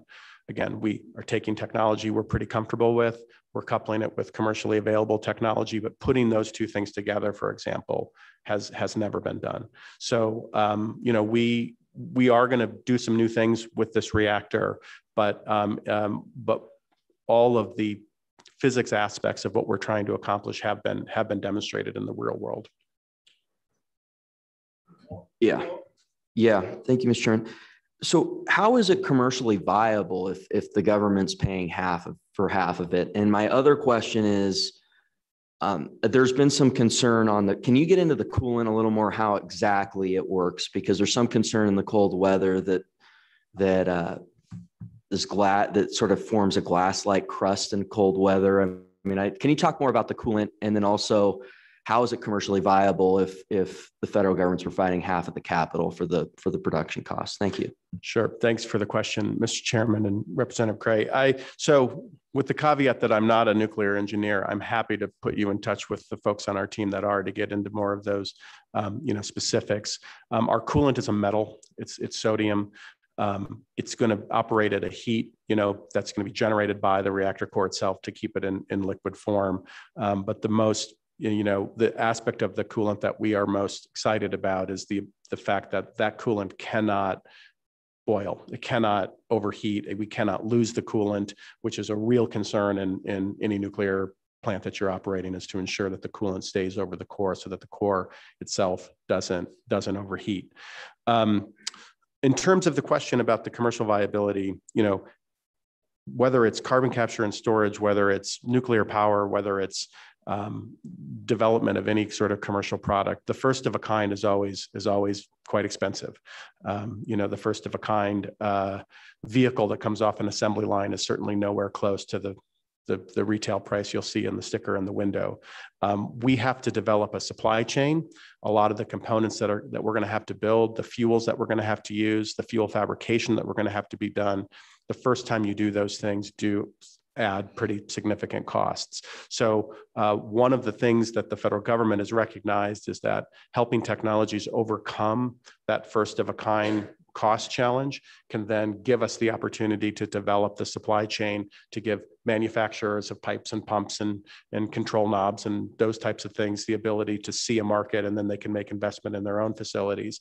Um, same thing with our fuel, same thing with our fuel fabrication facilities and the like. So, um, you know, uh, it's tough to go to a manufacturer of anything and say, here's the specification that we need. We need one of these products, right? That's going to be much more, more expensive if, than if we go to them and say, over the next number of years, we're going to be buying dozens of these products and they can make those investments into their own facilities. Thank you, Mr. Chairman. Mr. Navin, uh, based on that last comment, uh, you know, this, this project is to prove, to prove commercialization of the concept. But if that is proven true and we go into, like you mentioned, dozens of these in the future, I'm sure you have a, a business plan that does, and a cost comparison of, of fossil fuel, new fossil fuel uh, power plants versus this natrium power plant. Will it be cost comparative? Will it be able to compete on the open market without uh, government paying half of the cost? Uh, Mr. Uh, Chairman, thanks for the question and thank you, Representative Heiner. Yeah, we, I'm not sure you'd get very far with a business plan that requires constant and complete subsidy going forward through the life of your company. Um, one of the things that we looked at initially when, you know, our, our, our, our founder, Bill Gates understands markets and, um, you know, understood that uh, we needed products like nuclear to be available to meet growing demands for energy. But he looked at the current products that were being offered and said, these aren't going to get us there, and challenged our engineering team to come up with ways to reduce costs while increasing safety. Um, so we do think we'll be competitive. Um, uh, we also think that the energy storage component of the system that of the product that we're offering is going to be really valuable to to utilities. So it's not just about can we make electrons and what is the cost of those electrons, but um, how can we provide uh, a system that meets the demands and needs of our of our customers uh, as well. But um, yeah, our targets are to be are to be um, are to be competitive with with other forms of electricity that are that are on the grid. Follow up. Thank you, Mr. Chairman. On, on another subject, you you will generate some nuclear waste, uh, albeit five times less than a conventional nuclear power plant. And you mentioned that you will be storing this on site. Can you perhaps quantify how much that nuclear waste will be uh, per year or over the life of 50 to 80 years and, and what you're going to do to ensure that that is safe while it's being stored on site? Yeah, thank you for the question, Mr. Chairman and Representative Heiner. I, I will um, I will I will find I will get you volume numbers. Um, I don't have those off the top of my head, but I'll get you some estimates as to what that would look like um, for each year. In terms of how we're treating uh, the spent fuel, um, we are treating it as is the case with every other nuclear power plant. So it'll come out of the core. It will be stored for a while in water so that it can that uh, the fission products can can decay and we can take bulk of the heat off of those. And then they'll move into dry cask storage, which are you know steel and concrete lined casks in which the the, the fuel can the spent fuel can sit in for you know well over well over 100 years ultimately that spent fuel is going to need to go into permanent geological repository, which anybody who's followed nuclear issues over the last decade or so knows that there's a issue with that there's a bottleneck in Congress about how to how to deal with that with that that issue. Um, you know, I would like to see that resolved. The entire industry would like to see that resolved. Um, you know, we know that's going to take a little bit of time, um, but you know, we we are prepared to be able to ensure that that spent fuel can be safely stir, stored in the near term on site while we um, work with Congress to try to develop a, a broader solution for permanent geological uh, storage. Go ahead. Uh, well, great. Well, I, you know, I think we've covered, um, you know, just about just about every everything that I wanted to cover. I will say this: that we are really excited about the partnerships that we've been able to develop as a company. Our technology partner is uh, GE Hitachi. They bring decades of experience in nuclear and, and energy more broadly. Um, Rocky Mountain Power is a forward-thinking utility that has really uh, embraced this project and seen the potential, and we're very ex excited to work to work with them. We've got a great partner in the U.S. Department of Energy. Um, you know, Jennifer Granholm, the new Energy Secretary, participated in our event and in, in at the at, with the governor uh, at the beginning of, of the month. Um, but ultimately, we know that our biggest partnership is going to be here in Wyoming, where we're going to build this reactor, where we're going to operate this reactor. Um, we know that we're pretty new here. Um, you know, it's my second trip here in, uh, in the month, and probably will make many, many more trips over the coming uh, um, weeks and months. Um, but we look forward to earning your trust and earning uh, uh, uh, the ability to be your partner in, in building this project, bringing it to the state of Wyoming, and letting Wyoming continue to lead in energy like it's done for the last century. So, so thank you, Mr. Chairman. Oh, yes, uh, Representative Burkhart. Thank you, Mr. Chairman. So, Mr. Navin, you plan to make a decision, you and Rocky Mountain Power, by the end of the year on where to site this. Now, I take that to mean December, but I would imagine it'll be sooner than that. So I would ask maybe after you make that decision, if they could come back to the committee, explain the decision, because then that puts in place a lot of, of various wheels to turn if we could do that. I don't know if there's a question. I, I will just say, uh, Mr. Chair and Representative Burkhart, that yes, the, the DOE uh, re requires that we, we select the site by the end of the year. So that has to occur. We'd like to do it sooner than that though. And uh, we're, we're, we've got our ongoing integrated resource planning process uh, at this point in time. Uh, I, ideally, uh, if we could align those, that, that would work well. But as soon as we make that announcement, we'd welcome the opportunity to come back to this committee and, and present on that. We, we meet next August 12th and 13th we, we could listen to you then. Might, might need to be the next one. Yeah. oh, Representative Gray has another question. Thank you, Mr. Chairman. What is the procedure for the site selection and, and how does a community through its uh, the voice of its citizens withdraw from this? What's the procedure for a citizen to withdraw from consideration uh, for the siting? Thank you. Thank you, uh, Mr. Chair and uh, Representative Gray. Uh, so we, we've begun the process of, of meeting with local uh, communities. Uh, we'll be out uh, continually until a decision's made. next week, we'll, we'll be in, I believe, the community near, near your district, Representative Gray, um, and we'll continue to have that dialogue. If a community does not want to be considered, we, we, we'd love to know. Um, we, we've got essentially four areas that we're looking at at this point in time, and you know, to date, uh, lo local officials have expressed uh, encouraging responses.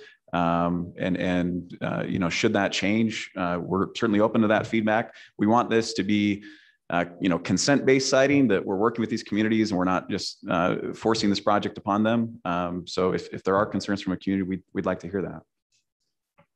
And, and let me just, let me just say, I've worked in the nuclear industry for a while. This is the first time that I've ever seen a plant site selection use this model where we identify a few potential sites, engage with the community to make sure that the community wants it. Early, early indications are we've seen a lot of support from these communities of wanting of wanting us to consider them for the plant. And but but absolutely, you know, we got to. There's a lot of things we have to look at. We got to look at the geology of the ground. We've got to look at the water. We've got to look at the needs of the grid. Rocky Mountain Power has to think through what this is going to mean through their their IRP process. But you know, the the community feelings on this are going to play a, a significant role in how we're going to think about the site selection piece as well. Okay, good. Oh, yes. Mr. Chairman, I have a couple questions for Mr. Cox. Does he have a presentation or, or is it, are we done? Let's hold And- that until okay. Mr. Cox presents.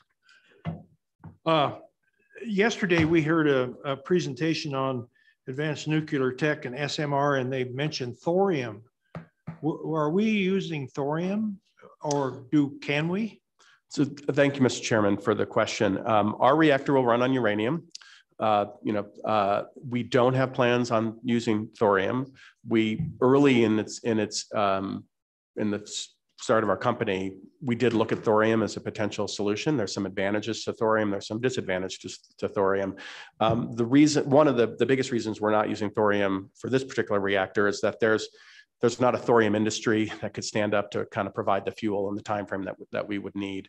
Um, I think you know, personally, uh, I like I like uranium. It's a it's a very uh, uh, it's it, it's a good it's a good uh, uh, fuel for us for for a lot of reasons, and you know our reactor does operate in the fast spectrum, which is uh, means it doesn't need a moderator to slow the neutrons down to achieve the critical reaction. And a lot of the benefits that get touted about thorium reactors can actually be achieved with um, uranium fast reactors, like the reduction of waste volumes uh, uh, and the like. Uh, Oh, Representative Burkhart has a question. Yeah, no surprise. Uh, Thank you, Mr. Chairman. So maybe a- too technical of a question, and maybe we could take this offline. Uh, For your fuel, are you using any of the current, call it advanced uh, fuel designs like HALEU and Triso and those? Thank you, Mr. Chairman, for the question. Thank you, uh, Representative Burkhart. Yeah, we, we will use uh, high assay low enriched uranium or HALEU, um, uh, which is re- which is required because we are a fast reactor, like I just mentioned. It's a more efficient way to use to, uh, to use to use the fuel. Uh, we will have to fabricate you know new fuel pins new fuel forms that are going to be different than what are what are currently available although um, that's a process that happens with most reactors they all seem to differ um, uh, a, a little bit so we will use HALEU as our input and we will manufacture our uh, the, the the we'll do the fuel fabrication as well and and then um, that will go into the reactor to fuel the reactor Mr. Navin, uh, state of Wyoming's been a big producer of U-238 for all the seventies and right up till eighty-one when we, when we discontinued. Uh, and right now we're not producing any. The industry says they can produce possibly about twenty million pounds a year. Of course, we hope that this plant would use some of that. Um, uh, Some of it would go to the rest of the nation also. But uh, that also has to be enriched, which we don't have an enrichment plant in Right. Wyoming nor in the United States. So right would we have a way of knowing that we were using our own uh, uranium if it went to the enrichment plant? I mean, you- well you know i mean uh, i i don't think there's a way we could look at it and say that's wyoming uranium but um, um, we we do we do hope that the development of this technology and the development of subsequent reactors creates sufficient demand that it restarts the uranium industry, not just in Wyoming, but broadly through the United States. Uh, this reactor that we're building will use about um, 12 metric tons, just to give us a sense, a sense of the scale. Um, the biggest, one of the biggest challenges we have in terms of our supply chain is, as you mentioned, there is currently not enrichment capacity in the United States for the high assay low enriched uranium or the HALEU that we talked about. Uh, we have made an investment in a facility in Ohio uh, run by a company called Centrus, who's working to build that capacity. We're working with your federal delegation. Senator Barrasso actually has some proposals that he's put forward to create a HALEU bank which would allow the US government to buy HALEU for these projects, and then we would buy it from the bank. So there'd be no cost to the taxpayers, but it could kind of stimulate and jumpstart the ability to bring that enrichment capability online. And that enricher would have to buy, you know, uranium. They'd be highly incentivized to use domestic uranium because of the, the cost advantages. So, um, uh, you know, we are actively looking at options that we have to purchase HALEU. We would, for all of the reasons that you can probably imagine, would much prefer to have that HALEU come from trusted domestic sources uh, within our borders. Um, and so uh, we're working with, with the federal delegation um, and the Department of Energy and some of the other US companies to try to bring that, that to fruition. Um, HALEU's, HALEU keeps us up at night. How we get the fuel for this reactor is one of the things that we're gonna have to figure out because as Representative Burkhart pointed out, seven years is, uh, is warp speed when it comes to, to nuclear. So, um, uh, you know, we've had uh, initial, some good initial meetings with the, the, the, mine, the Uranium Mining Association here in Wyoming.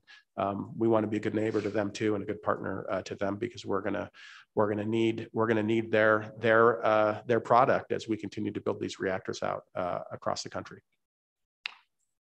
We are very concerned that some of our enemies want to produce uh, your your HALEU and sell it to you at a discount due to the government uh, supporting that in the beginning and cutting the Wyoming producers out of that. So we're very concerned about that.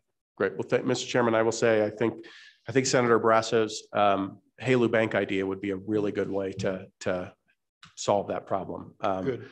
Uh, we we share, as would any company, um, if you've got critical parts of your supply chain and you're relying on on foreign producers that don't have the best interests of the United States at heart all of the time. Um, you know, we certainly want to make sure that we've got access to, to a solid domestic supply of, of our uranium. Other questions for Mr. Navin? We'll move on to Mr. Cox.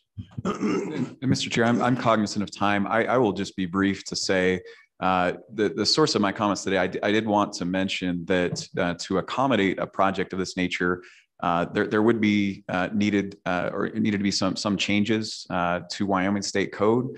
So first of all, there, there was a bill that was passed in, in the year 2020 that essentially had this idea before we had this idea. So, you know, we uh, we we uh, are, are, certainly thankful for for that uh, impetus there. And, and and that particular bill, it was HB 74 that uh, essentially allowed for uh, uh, an otherwise retiring coal plant facility or site to, to be used for a small modular nuclear reactor.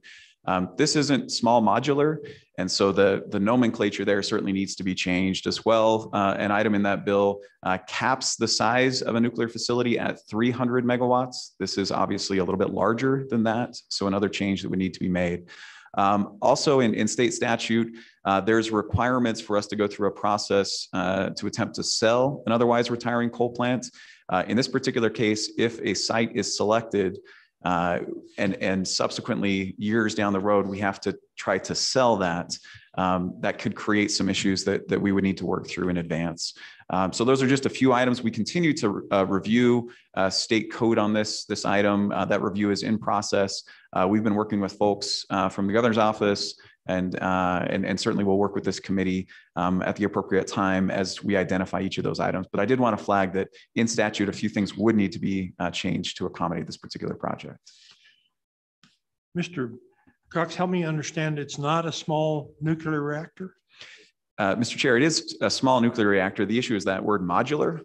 Um, and, and Mr. Navin can kick me if I, I go astray here a little bit, but uh, uh, the, the modular uh, nomenclature there is, is typically referenced for a, uh, a nuclear facility like the NuScale facility that they're proposing there in, in Idaho that you could build out at whatever scale you wanted. You just add another module. Uh, th- this is different. So the, the size that we're talking about, you couldn't just add an additional additional 80 megawatts if you wanted it. Um, so both are advanced nuclear reactors. One is modular, the other is not. Okay. All right. Representative Gray, I think you had a question. Thanks, uh, Mr. Chairman. Appreciate it. So I had a couple, HB uh, 74, I originally, I voted against that and uh, it went through, it was 56 to 4, 29 1. And one of the big reasons was one, the questions on what this would actually become, it was clear that this was being used to replace a coal-fired power plant. And uh, that's that's really concerning to me. So can you talk about, I mean, the Glenrock situation, seven years, I mean, that would that would speed up the closure of the Glenrock facility, would it not? Mr. Chair and Representative Gray. Uh, so as this committee well knows, we're uh, proceeding with a, a, schedule of coal plant retirements um, irrespective of this project. And, and, we've had that discussion for the last two years. We've had some rough and tumble conversations in those two years, and I, I fully expect those to continue. Uh, but I, I, do just want to be clear on that point that that, that is, is moving forward uh, for, from our planning purposes, at least, irrespective of this, this conversation. To your second question, Representative Gray, on timeline, um, our current depreciable life for uh, that particular power plant uh, is 2027. And so it, it could be in line if you're talking seven years from now, 2028, uh, for a particular project like this. You have more questions? All right, Senator, Senator Cooper. Thank you, Mr. Chairman.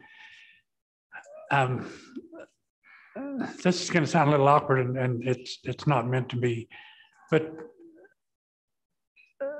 I, I like the idea of the of the technology and developing it.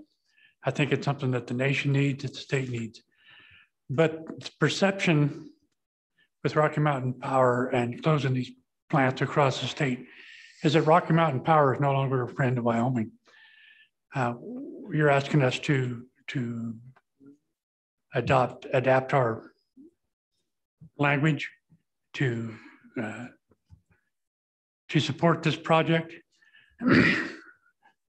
Other than this project, how what kind of commitment can we get from Rocky Mountain Power to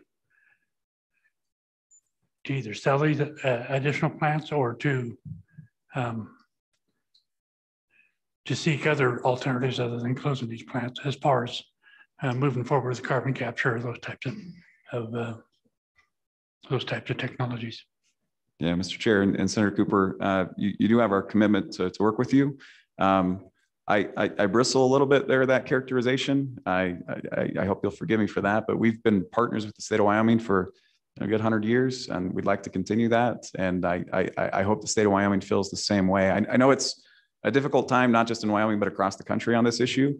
Um, I would say, you know, we are bringing this as one solution in good faith to, to try to bring jobs to local Wyoming communities uh, where we have employees who have powered this state and powered the West for generations. And we'd like to continue that in the state of Wyoming.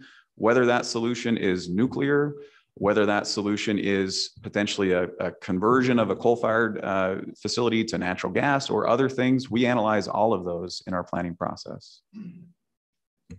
Mr. Chair. Yes. Um, um, again, I, I personally really like the idea of, of developing this, but I, the perception from the people that I talk to um, is that Rocky Mountain Power is no longer a good friend of Wyoming uh, that you're turning your back on us. Um, this is not turning your back on us. This is developing an alternative. But these these same people are asking us, why can't instead of going nuclear, why can't we extend, find um, alternatives to closing these plants, whether that be selling them, um, whatever the alternatives may be the people that I'm talking to that, that are talking to me don't feel that um, Rocky Mountain Power has really stepped up to the table and and um, looked at all the alternatives to closing these plants. So how can I, I guess we'd like some more information from Rocky Mountain Power as, as far as what you can give back other than a nuclear plant. Um, the the uh, industrial customers, the oil and gas producers are are uh, needing alternatives to um, to Rocky Mountain Power, and it's not there. And um, I, I, guess, uh, like I said, I, I, I, don't mean to bristle you, but um, the perception across the state from a lot of the people is that that you have turned your back on us, and we'd like to see something more in return. Is what is what I'm hearing from from my people. Thank you, sir. Mr. Cox? Yeah, Mr. Chair and, and Senator Cooper, I, I appreciate the sentiment and, and I, uh, I, I don't, you know, intend to disagree or, or, or anything of that nature here. I, I would say uh, this is not an insignificant project that we're talking about here today. Um, there, there are coal plants that are closing across this country and there are communities that are devastated across this country. Um, we, we get that. we, we see that. Um, we, we don't just have coal plants in the state of Wyoming. We have coal plants across six Western states, and we're seeing this in every last one of them. Um, we're, we're trying to, to find ways to help these communities, um, and, and we're trying to find ways to help our employees. Um, I, I, hope that this particular effort, this particular project is not seen as insignificant. Uh, and, and certainly this is one piece of the conversation, but there's, there's others as well. Mr. Cox, we don't mean to attack your company, but there is a lot of lot of angst in the in the state about losing jobs. Obviously, how many how many employees do you have in the state? Uh, I can get the exact number, and I, I think, uh, Mr. Chair, in, in, previous presentations, I've actually had that on a, on a deck I've had. It's, uh, I believe, just over a thousand employees. Uh, but we've got the four coal plants in the states. Uh, we obviously have a significant number of employees on our poles and wires, our transmission and distribution. Um, we own one coal mine in the state associated with our Jim Bridger plant as well. So we, we have a significant number of employees. When you look at our six states in which we have customers, and you know, Rocky Mountain, or excuse me, Wyoming accounts for about 16% of the electricity that we sell in those six states. But you look at the number of employees I have, and you divide it, Wyoming is far, far higher than 16%. You know, Wyoming is an exporter of energy. Um, it always has been, and we're looking for ways to help that continue to be the case. We believe this project is one example of that. Okay. Representative Burkhart has a question. So kind of two divergent questions. One being, wherever you site this in seven, eight years, you will lose people at that plant. They'll retire. They'll decide to go somewhere else. I mean, uh, you know, attrition is just a, a part of doing business. Would it be your intention, and I'm not asking for a commitment to, as those jobs become available, to offer them to existing employees who have those skills or, or trainable in those skills? So that, that's the first one. The divergent one is you mentioned NuScale, and NuScale had kind of a consortium agreement with Utah and Idaho to supply some communities over there uh, with a small modular reactor, and they've tended to back out um, they're reconsidering their cost and everything else. Any intention potentially of leveraging this to fill that portion to supply power to those two areas? Mr. Chair and Representative Burkhart, uh, to answer both questions, uh, to the first question on employees, um, as you look at the different sites where we have coal plants today, and you think about the number of jobs that will be needed, as Mr. Navin uh, said in his testimony, um, we, we've got to have a, a, significant number of our current employees, you know, looking there, or we've got to bring in, you know, and, and recruit employees from from out of the area. I would say our preference is to find employees that we have today. If retraining is necessary, to do that retraining and, uh, and, and help them them find jobs in in this new nuclear facility. To your second question on uh, NuScale, uh, we are aware of of that uh, particular uh, power plants, uh, the partnership that you mentioned with some some cities there in Utah.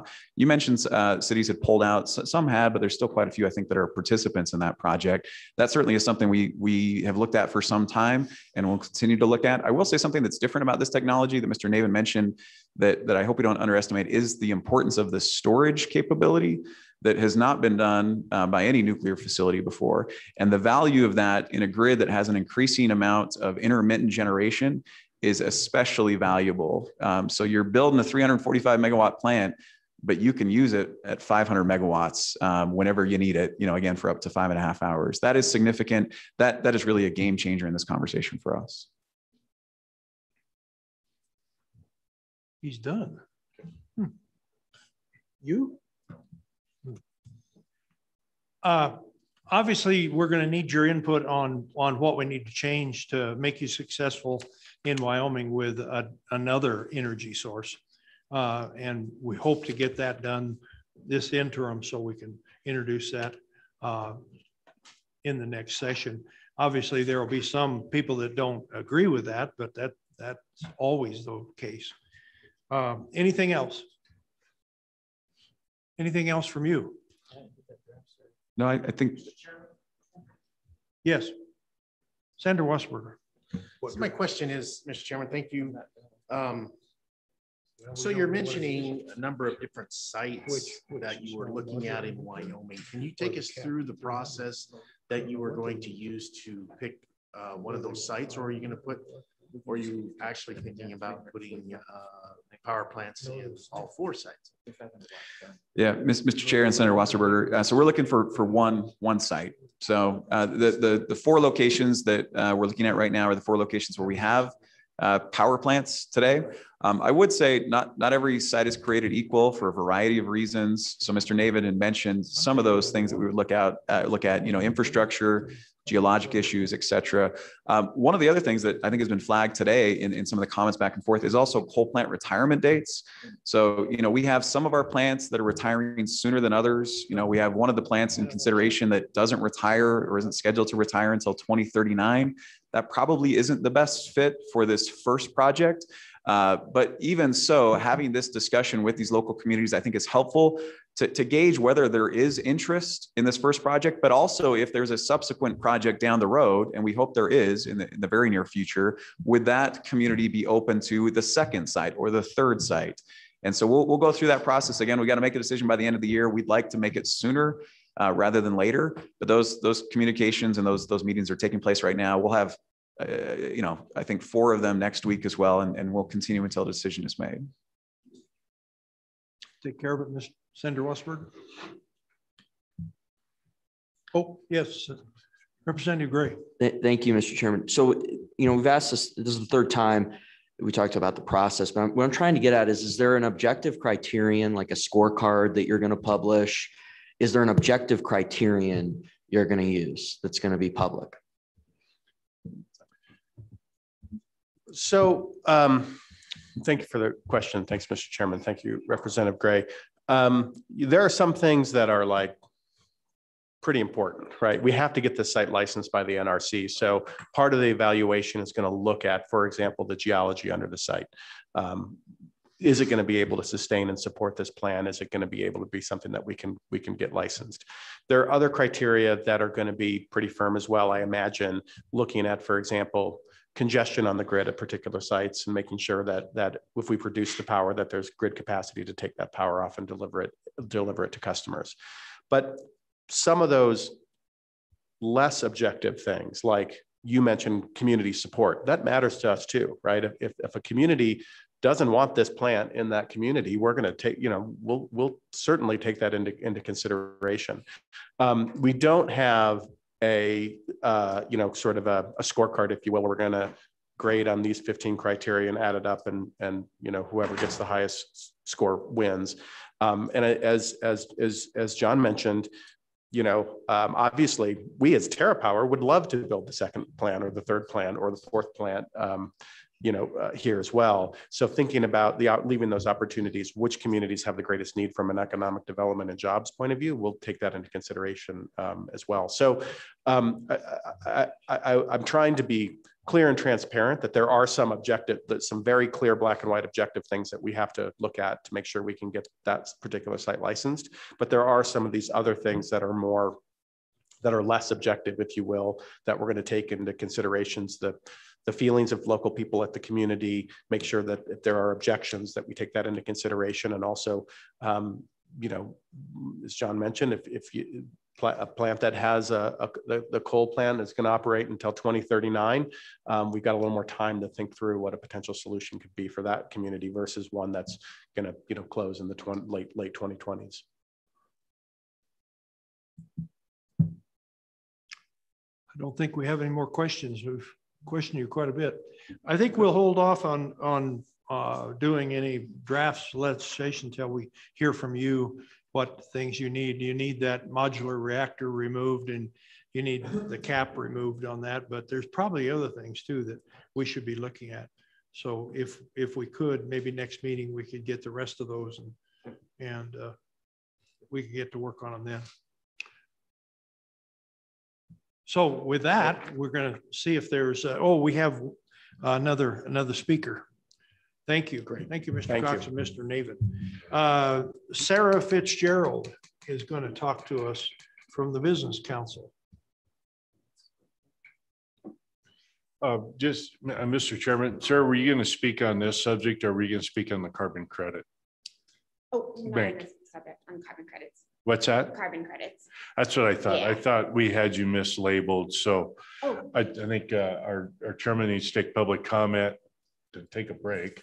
Thank And then you. we move on to the, the carbon credits. Thank you, Sarah. That was, that was very good. We'll just move you right down there. Uh, yeah. Thank you. Uh, any public comment on this, uh, subject, on the nuclear power generation in Wyoming subject?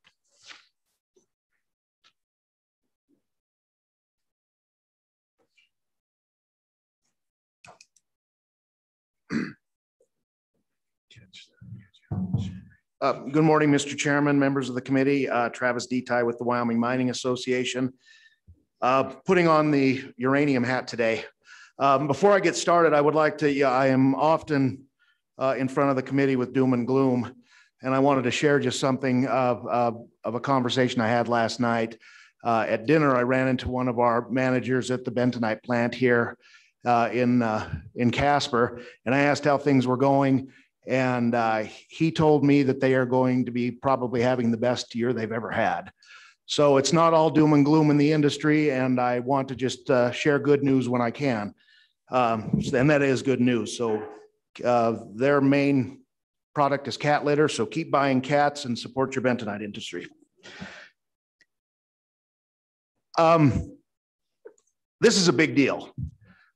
And uh, I, I will tell you that uh, uh, the folks at TerraPower and Rocky Mountain Power reached out to uh, the uranium operators prior to the announcement. We sat down, had a little conversation. And when the announcement was made, um, we had uh, uh, representatives from all nine of our uranium companies in Wyoming. Uh, it was met with applause. Our guys are very excited about this. Um, if we are able to get this up, up and off the ground and working um, and build more, that's going to increase demand and that demand can be met by Wyoming uranium producers. Uh, in the industry, uh, state of the industry today is dreadful. Um, we mined 27,000 pounds of, uh, uh, of uranium last year. And, and to put that in perspective, that's down from about 12 million pounds a year back in the 1970s. Our producers in, uh, in, in Wyoming employ 120 people, down from 5,300 back in the 1970s. So the industry's on its back, and it's on its back for a number of reasons. Obviously, the prices, uh, uh, the, the market has been flooded by state-sponsored uranium. We cannot compete right now.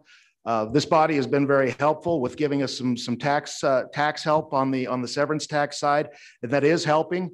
Um, of our companies right now, we had four that were actually producing last year. Um, but again, 27,000 pounds, that's negligible. It's the lowest on record. And that is uh, American uranium production right there. That's it. Um, so we see the opportunity here to get, uh, get this project up and running. Um, it will increase demand. Uh, in discussions with TerraPower and Rocky Mountain Power, one of the things that came up is we see this as a market indicator. And I think for, for investment uh, uh, purposes for our operators, and I think they're seeing some of that come to fruition already. Um, we get this up and running, the demand's going to be there. Our operators are ready. As uh, uh, Mr. Chairman, as you noted, we can turn right around and, and up our capacity to 20 million pounds. We can do more. Uh, you, know, you know, that's 20, 20 million pounds with our in situ mining process that we use today. We can, if, if the need is there, we can go to conventional mining and mine more. We can do it. Um, I also think this is a tremendous opportunity right now. Uh, this is the signal that the United States is back on the nuclear playing field when we've been on the sidelines for the last 50 years. Uh, the opportunity uh, for the state of Wyoming um, to get into the enrichment game, hell, let's build some of these facilities here and let's do it here and let's let's do the whole fuel cycle here in Wyoming. Um, food for thought. I think there's uh, again tremendous opportunity. And this doesn't have to be at the expense of your work uh, at holding Rocky Mountain Power's feet to the fire on coal. Uh, we can walk and chew gum at the same time. We can continue our work on carbon capture and technology and use the coal resource, keep it viable in the future, and we can pursue this. And I will keep uh, on Rocky Mountain Power to tear down those windmills. because this is, because this is what, uh, this is clean energy. And this is reliable energy. This is dispatchable energy. And, uh, you know, that's, if that's what we're doing, if this car, if this, uh, emissions thing is really the ex- ex- existential crisis it's meant to be, here is something that solves the problem and fits the bill. So, uh, you know, uh, uh, uh, the, uh, the, the project has the full support of the Wyoming uranium industry. And, uh, we look forward to, to carrying through on this project. And I would stand for questions. Any questions for Mr. Deti? Uh, Chuck, yes, Mr. Thank you, Mr. Chairman. Great. Mr. Deti, have you thought at all about the, uh, the use of the bonding authority for a coal export terminal? We were talking about that yesterday.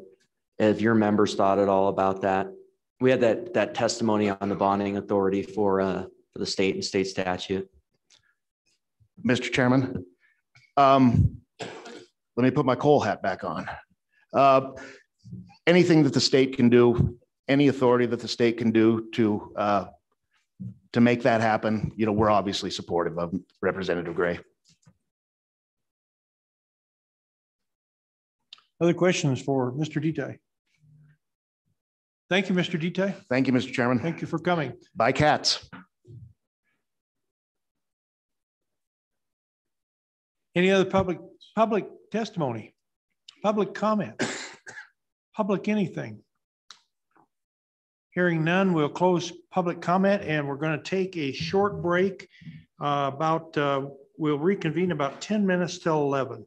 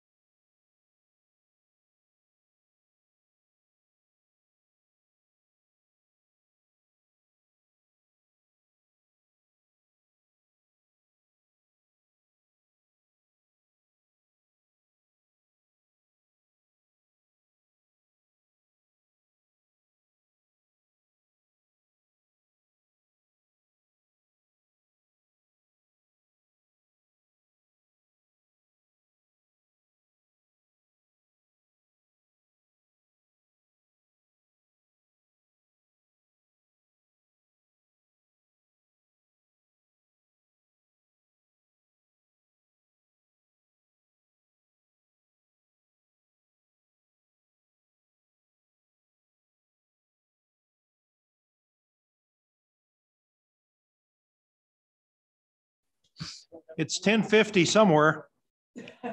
No, we don't. Oh, is it No, we don't. Yeah, yeah, yeah.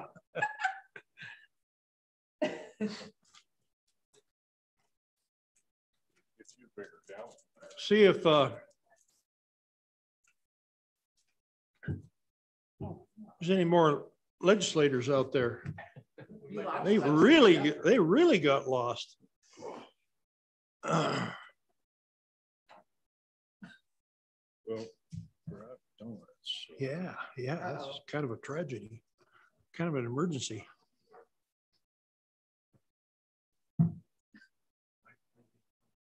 There's no more. There isn't? No. Send answer. No, it's, there's a half of one. I left you a half. Yeah. No, No, in the box. in the box is a half one. And I should have taken.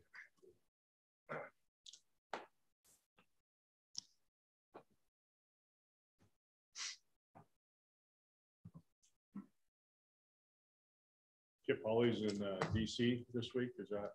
Oh, she's on her way back? Yeah. She was gonna skip her trip to be here, and I thought Scott can have it. Mr. Baker. Mr. Baker. Mr. Baker, could you see if there's any legislators out there that are, are, Did, did, um, is your agenda say Sarah's working with? Yeah, so Sarah, Sarah's kind of got the lead as I understand it. Yeah. Kip's there for But technical what does your agenda say? I don't know, Brian, did you want to? Brian, did you want to give an overview on our research memo that? That's, that's up to you. Yeah. So I didn't know, you know, Brian had put this together. It'd be better if Brian gave it a little bit of a, we're, we're kind of free forming here on this topic. Would you like Brian to go ahead and go through his memorandum? I think that, Brian, I think that would set the stage or. And Mr. Chairman, that was actually Clarissa who Oh, put that I'm together. So Ms. sorry. Norton will Okay. discuss that. Yeah. Uh, what, why don't we, Mr. Chairman, why don't we have them do that? Have him, Yeah, have her go through her memo, just kind of, uh, oh, have her do it or? no, Clarissa who put this Oh. together. Okay, Yeah, right. And that may set the table for those two to come in. I think, I think we've reached a quorum, so we'll go ahead and, and call this meeting to order. And first order of business here is the staff is going to tell us about this research that they did on the thing. Clarissa, are you ready? Mr. Chairman, I am. Thank you very Okay. much. All right. Um, My name is Clarissa Nord, and I'm an Associate Research Analyst with the Legislative Service Office. Um, I'll just be providing a few key highlights from the memo that's included in your meeting materials. Um, For your reference, it's labeled as Appendix 9-01 if you'd like to pull that up. Um, So this memo just provides some introductory information regarding several carbon offset approaches, and it also summarizes other states' uh, market-based climate policies. And so generally speaking, uh, market-based climate policies exist um, just as one way to address greenhouse gas emissions. And um, these policies establish a financial incentive um, for companies to innovate and develop lower emitting technologies. And then they also provide greater flexibility um, for entities to achieve environmental goals at lower overall costs. And so just getting into a couple of definitions here with respect to um, carbon offsets. An offset broadly refers to a measurable reduction, avoidant or avoidance or sequestration of emissions that occur in another location. Um, and then these programs enable both the public and private sectors to trade offsets in the form of credits um, that typically represent one ton of carbon dioxide equivalent emissions. And so offsets are generated by projects completed to intentionally reduce emissions, and um, they can have objectives like preserving and maintaining forests um, or supporting methane reduction projects, but there's um, a wide variety of projects that can make up an offset. And then in terms of uh, carbon allowances, uh, these are tradable credits that permit a certain amount of emissions throughout the wider economy. Um, and so allowances differ from offsets in that government entities issue them through um, cap and trade programs. Um, and in turn, they limit the supply of the allowances, which creates scarcity in the market. And so because allowances are both tradable and scarce, this places an indirect price on carbon. Um, and then regulated sectors can either purchase allowances depending on their circumstances, um, or they can sell them if they have excess and create a new revenue stream. Um, and allowances also just establish another method um, uh, to carbon offsets for claiming emissions reductions, and governments originally designed them um, to mitigate carbon offset project quality issues and concerns. Um, and then for carbon markets, these address uh, these exist to address environmental goals, uh, most commonly to reduce greenhouse gas emissions cost effectively. And um, in terms of the history of carbon markets, the Kyoto Protocol, which is an international treaty the UN adopted in uh, 1997, first recognized the role of carbon markets for climate mitigation. And so uh, two types of carbon markets exist, um, both voluntary and compliance.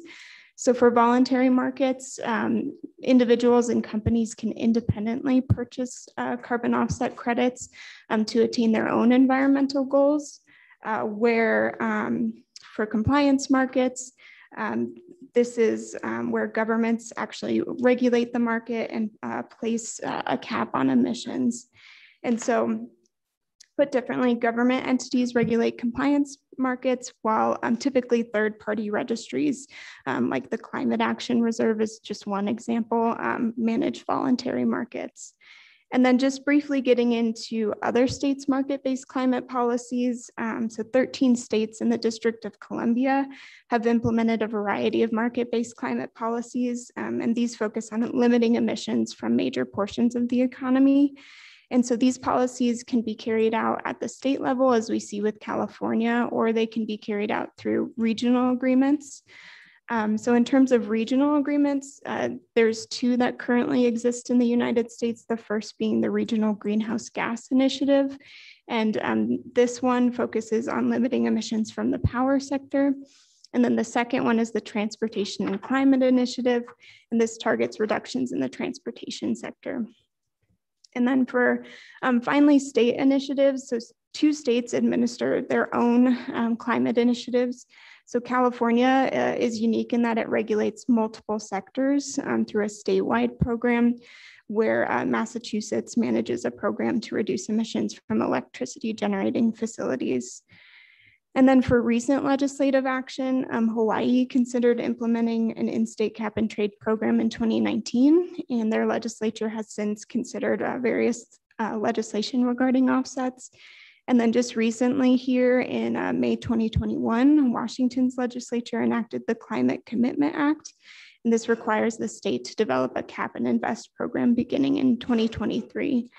Um, so, Mr. Chairman, that completes uh, my brief remarks um, summarizing the memo, and I'm happy to stand for any questions you all may have. Any questions for Clarissa? Yes. Uh, Representative Bear. Thank you, Mr. Chairman. Um, thank you for that uh, overview. Was there any uh, research done on this new 45Q that was mentioned earlier today? And can you share anything you know about 45Q? Mr. Chairman, uh, Representative Bear, you know, I, I did not look at that, um, the 45Q um, information, but I'd be happy to follow up and uh, provide that to you. Yes, Representative Greear. Yeah, thank you, Mr. Chairman. Um, actually, I think Mr. Coddington could probably get you some ready-made research on 45Q pretty, pretty quickly. Uh, I did have, you know, so um, cap and trade's been a dirty word in Wyoming. I, I, think that uh, what we're looking at is is uh, investment and trade uh, type of components as we go forward, just to make that clear to um, our audience. So, thank you, Mr. Other questions? Other questions for Ms. Nord? Other questions? Hearing none, thank you for your thank you for your research. And, thank you, Mr. Chairman. And the, and the input. Uh, next up is uh, Sarah Fitzgerald and Kip Coddington, please.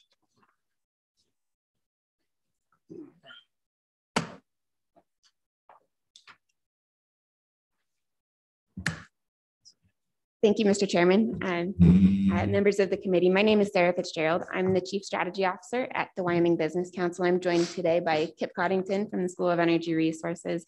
He's the real expert. Um, but we're here today to continue the conversation that Clarissa started around um, carbon markets and carbon trading. Um, I want to, um, before we jump in, want to also clarify, as uh, Co-Chairman Greear said, um, the work that we've started um, is A, only just begun, and B, um, primarily focused on those voluntary carbon markets um, that Ms. Nord talked about, not the regulatory or compliance markets. Um, and so in nowhere in here will you hear about um, regulating emissions or anything like that. Um, we're, we're talking about um, market opportunities that could be that, that could be beneficial for Wyoming. so I've got a slide deck if we can pull that up. Thanks. And we can go on to the next slide. Awesome, thank you. Um, so today we're just we're just starting the conversation with all of you. Um, I'll talk a little bit about the approach that we're taking, um, as well as what little bit we've learned so far. Um, uh, and Kip will talk about some more background complementing uh, what Ms. Nord shared, um, and then we'll talk about next steps. And as part of that, um, we can have a discussion about how to work together going forward. so with that, I will turn it over to Kip Coddington. We've got a placeholder slide.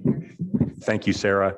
So, Mr. Chairman and members of the committee, my name is Kip Coddington. I'm the director of the Center for Energy Regulation and Policy Analysis, CERPA, at the School of Energy Resources at the University of Wyoming.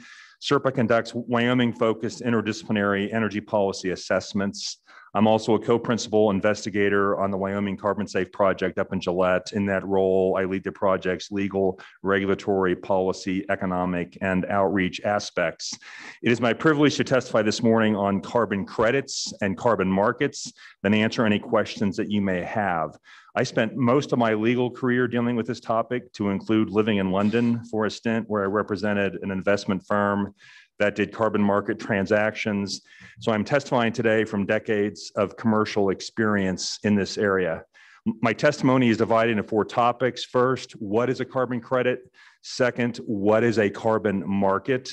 Third, I want to highlight some key aspects of both carbon credits and carbon markets that are important. And fourth, I will conclude with why I think carbon credits and markets are relevant for Wyoming. First, though, what is a carbon credit? And again, I would like to commend the excellent research done, uh, done by LSO staff. Um, so, as I will explain later, carbon credit means different things to different people, and precise language is important.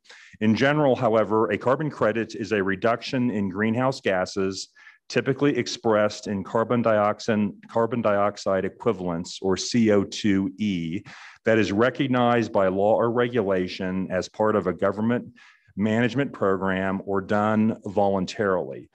A key point about carbon credits is that they must be real, permanent, quantifiable, verifiable, enforceable, and additional. And I want to focus on the concept of additionality here.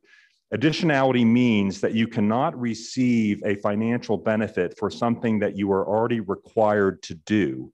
So, if your power plant is required to reduce its greenhouse gas emissions under the Federal Clean Air Act, you cannot also sell carbon credits for those same reductions. Additionality means you are generating carbon credits because you are taking additional effort to reduce your emissions. So you should be compensated for that extra effort via the carbon markets. In contrast, if a company is just engaged in business as usual operations and hoping to generate extra revenue on the side via carbon credits, that will never be approved or allowed to happen. Generating carbon credits, no matter the type, takes effort, time, and money carbon credits are not free money. Carbon credits do have value just like a currency, but their value varies wildly. The value of a carbon credit depends upon a host of factors from supply and demand to project type and credit quality. Credits also have vintages and they can be temporary. Forests, for example, burn down from time to time, as we all know. But that fire also re-releases the absorbed CO2, some of which may have been previously reflected in a carbon credit somewhere. So issued credits can be retroactively invalidated. All of these factors influence the value or price. There is also limited price transparency on carbon credits. And again, it depends on what you mean by carbon credits. The Wall Street Journal doesn't publish pricing data on carbon credits. California does periodically publish pricing and auction data for allowances, and I'll explain later what an allowance is. Clues about pricing for carbon credits could be obtained from registries such as the American Carbon Registry, but registration is required.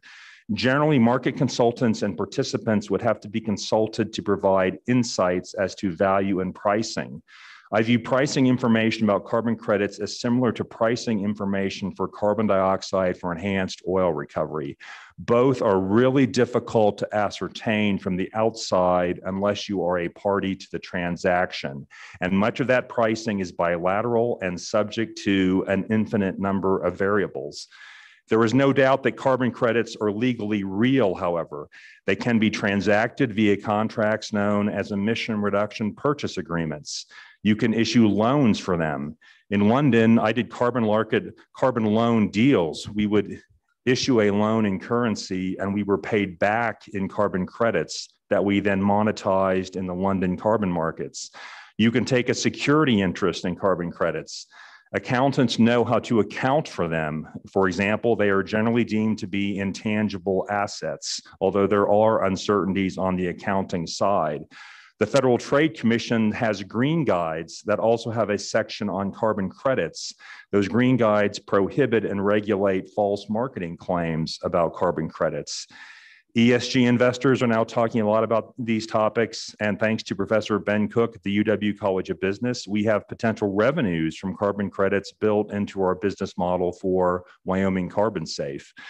So that concludes my um, comments about what a carbon credit is. Now I'm going to pivot to the second topic. What is a carbon market? One, one question here. One question here. Just to slow you down. Okay. Okay. Am I going too quickly, Mr. Chairman? Apologize. I'm a quick drinker, but Okay. damn.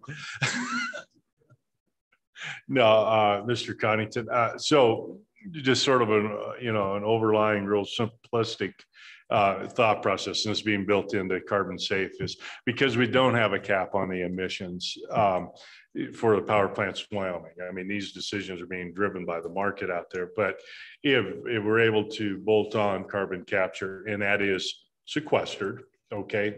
Um, and and I know enhanced oil recovery or the use for that's a little different mechanism, but it's truly sequestered.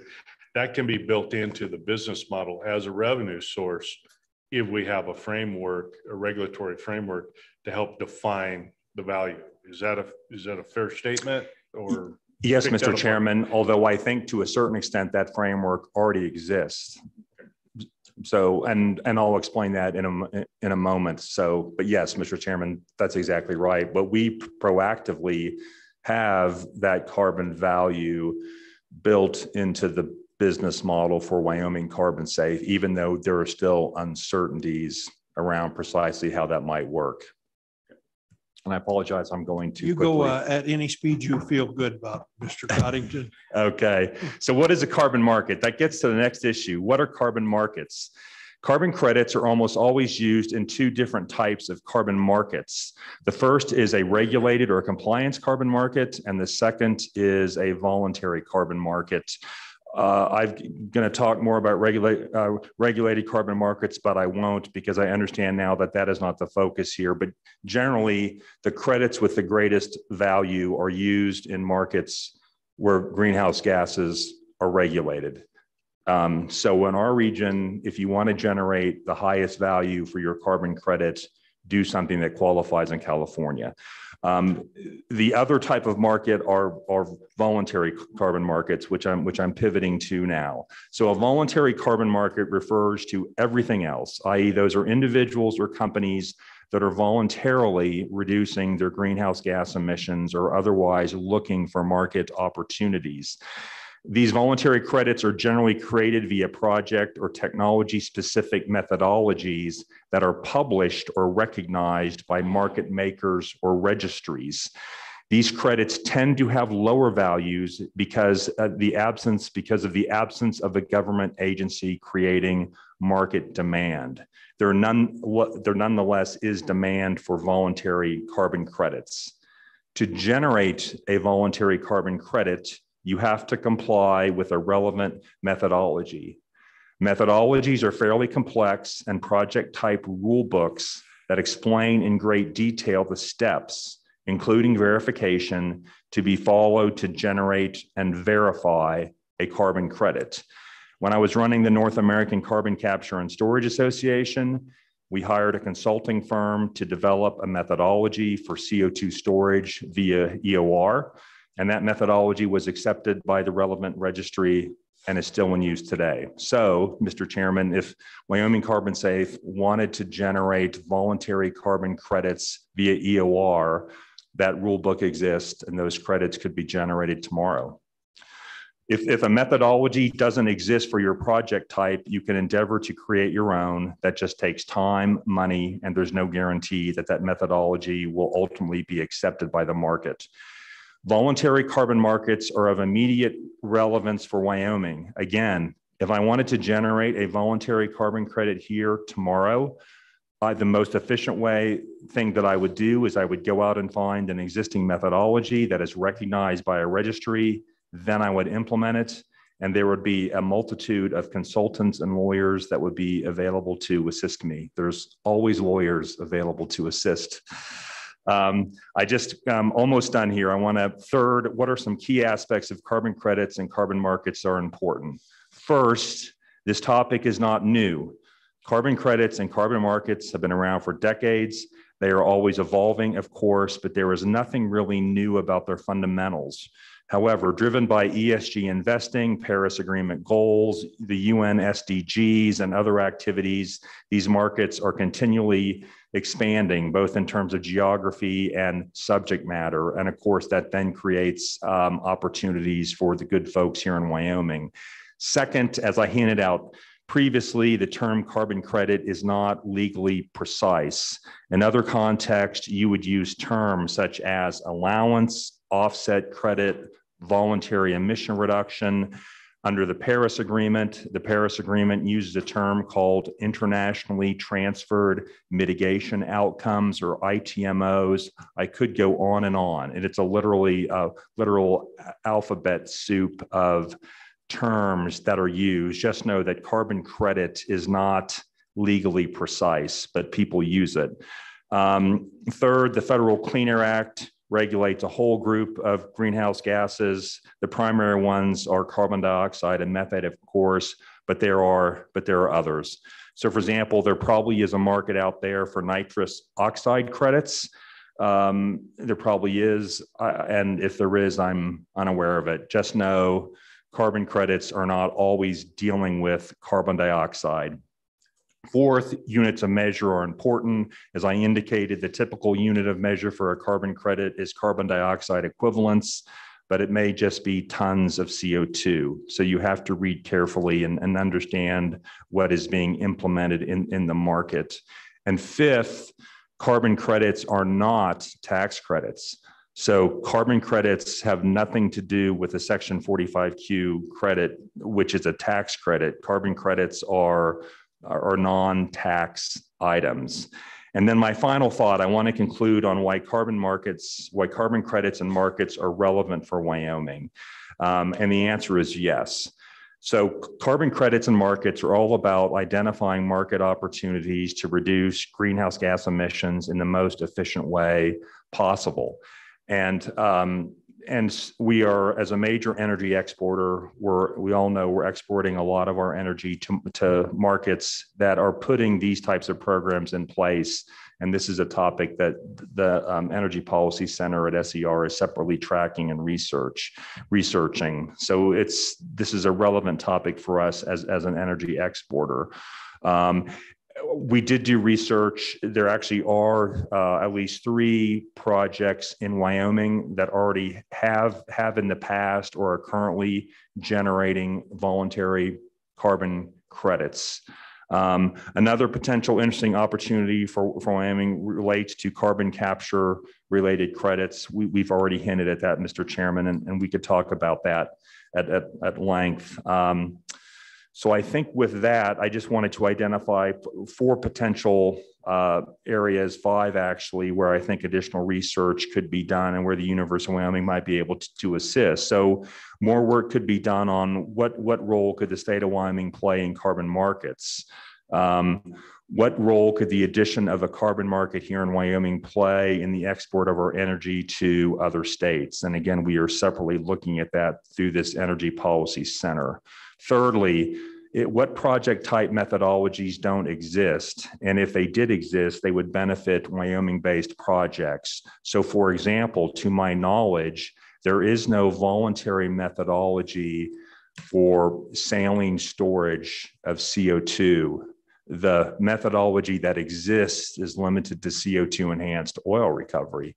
So it would be beneficial if we someone developed a methodology for CO2 and saline storage. Um, fourthly, what activities are going on now in Wyoming that, if properly registered, could generate carbon credits? There's probably um, any any number of items like that. Uh, and here we might look at the California low carbon fuel standard because th their credits are of particular high high value. Um, so with that, I think I'll stop there. This concludes my testimony, Mr. Chairman. I'd be happy to answer any questions that you or the committee may have. Thank you. Questions for Mr. Coddington? Representative Greear. Mr. Coddington, I, uh, you know, this came out of some discussions uh, with folks who are, you know, they're looking at the, the harvesting of CO2 out of the atmosphere. They're looking at anything to, to reduce this, understanding there's going to be a high demand um, by industry for, you know, what they deem offsets. Um, I mean, just face it, electric airplanes aren't going to happen for a while, if, if ever. Um, and so they, I guess I look at how uh, innovative Wyoming was dealing with sage grouse, and then two years ago or three years ago, you know, we we were able to put a statutory framework to ensure the integrity of that mitigation program in place, and so that coupled with Wyoming's forward thinking on uh, blockchain technology and then some of the banking surrounding that, which is being adopted by the FDIC, or um, it, it, just got me to thinking that, and, and this was Representative Bear's idea actually for a, an interim topic was, you know, why can't we develop that framework here, and and is that possible? And would that then stimulate what we're attempting to do, which is to draw in more research, to draw in um, new projects. And so just kind of a 30,000 foot thought process of why we're having this discussion. And I'd just like to get your take on that. So, Mr. Chairman and Representative Greear, yes, there certainly is uh, interesting opportunities here, um, and those would need to be supported by a lot more research. And again, I would like to thank Ms. Fitzgerald for for leading that, and again commending the the prior work that that, that was done by LSO. Um, pieces of this do already exist, so we would have to be cognizant of what is already out there. Um, generally, uh, these are private sector actors that are working in voluntary markets as opposed to governmental entities. But that isn't to say there aren't um, additional work that could be done and roles for the state of Wyoming or state agencies uh, that could be pursued. I just think we would need to understand what the policy goal was, then we could support that with additional research and come back with some recommendations. Questions? A follow up on that. Yeah. Why don't you follow up? So I haven't had a chance to look it up, but I did uh, review um, Senator uh, Stabenow's uh, bill, which I understand has passed uh, the Senate anyway, and it's it is voluntary credits uh, with respect to to agriculture. So it's um, more to encourage the sequestration of carbon in, in, in the soil through um, probably strip till type of or, or uh, strip till type of practices. Uh, so I know there's a big discussion, you know, with, with Secretary Vilsack around the USDA and how that could tie to agriculture right now. So there's a lot of discussions uh, going along with that. Um, I, I again just think if we were to uh, have a regulatory, have some agency with regulatory oversight on the um, legitimacy that that would add value to a market. And I maybe just asked the same question to you twice, but that's your thoughts on that. No, Mr. Chairman and Representative Greear, yes, yes, I agree.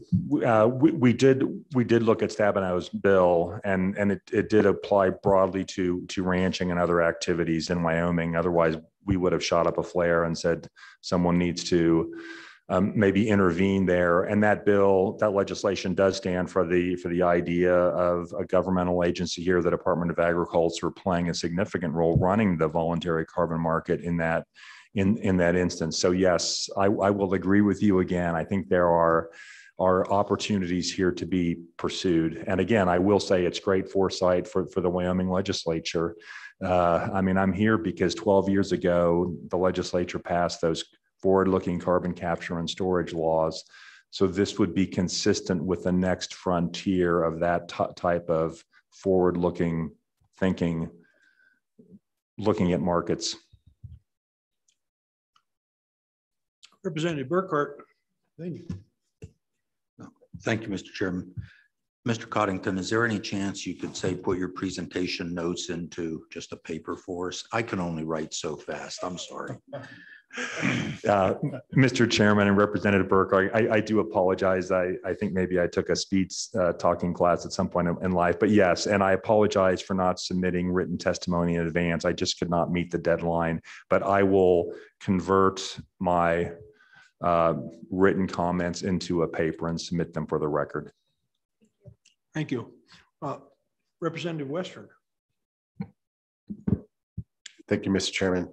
Mr. Condon, thanks so much for your time. Uh, you mentioned that there isn't any kind of standing methodology for for saline, if I heard that correctly. Correct. Because my knowledge is deeply lacking in that area. Could you maybe just give a, a brief overview of what that would broadly entail and what that would look like? So, Mr. Chairman and, and Representative Western, yes, and actually, um, what it would the comparable methodology for uh, generating voluntary credits via EOR runs about 100 pages. Uh, and again, I drafted some of that about a decade ago, and it talks about the technical aspects, how to manage the field, verification, and on and on and on. And so, to do the comparable methodology for saline storage, I think we would just start with the, that CO2 EOR document and tweak it for um, saline approaches, now cognizant of the class six rules. So that existing EOR methodology would provide a really good running start for the saline, a potential saline one. Follow up? No. Representative Bear. Thank you, Mr. Chairman. Mr. Uh, Coddington, I heard you say that uh, the methodology would be uh, require some energy uh, and effort to be able to produce carbon credits. And so I just wanted you to kind of expand on that idea a little bit. When, when I look at agriculture, there's already a methodology there, it's already happening. Um, can that not be used for carbon credits in the in the scenario that you're describing? Mr. Chairman and Representative Bear, yes, although again, those methodologies are by project type. So if, if you had an agricultural project that fit within the defined bounds of whatever that existing methodology is, you could use it. There will be new project types where a methodology does not exist, one of which is saline storage of CO2 EOR. And there, then you would have to go out and create that document. Um, and that would take some time and and money. Generally, a registry would be involved in that. Uh, there would be public comment on it. So this is an open and transparent process. So it could not be, the outcome could not be uh, predicted in advance, but um, but yes, there are certainly lots of methodologies out there that apply to a variety of project types that would enable you to generate and sell voluntary carbon credits today. The uh, a question I have is, uh, I, I there's 3.3 million tons of CO2 a year from Dry Fork Station. If we were to sequester all that, either EORI or whatever we do with it, how many credits, how many carbon credits do we get for that? Do we get 3.3 million or we get one? In theory, you would get, Mr. Chairman, um, you would get one credit per each ton Oh. stored. And then, then you'd have to determine what the market value of that is. Okay, thank you. Other questions? Other questions? And I, I'm thinking that Sarah has more. Yes, Mr. Chairman, I have a little bit more. Oh, oh, sorry. Trey has a question for you.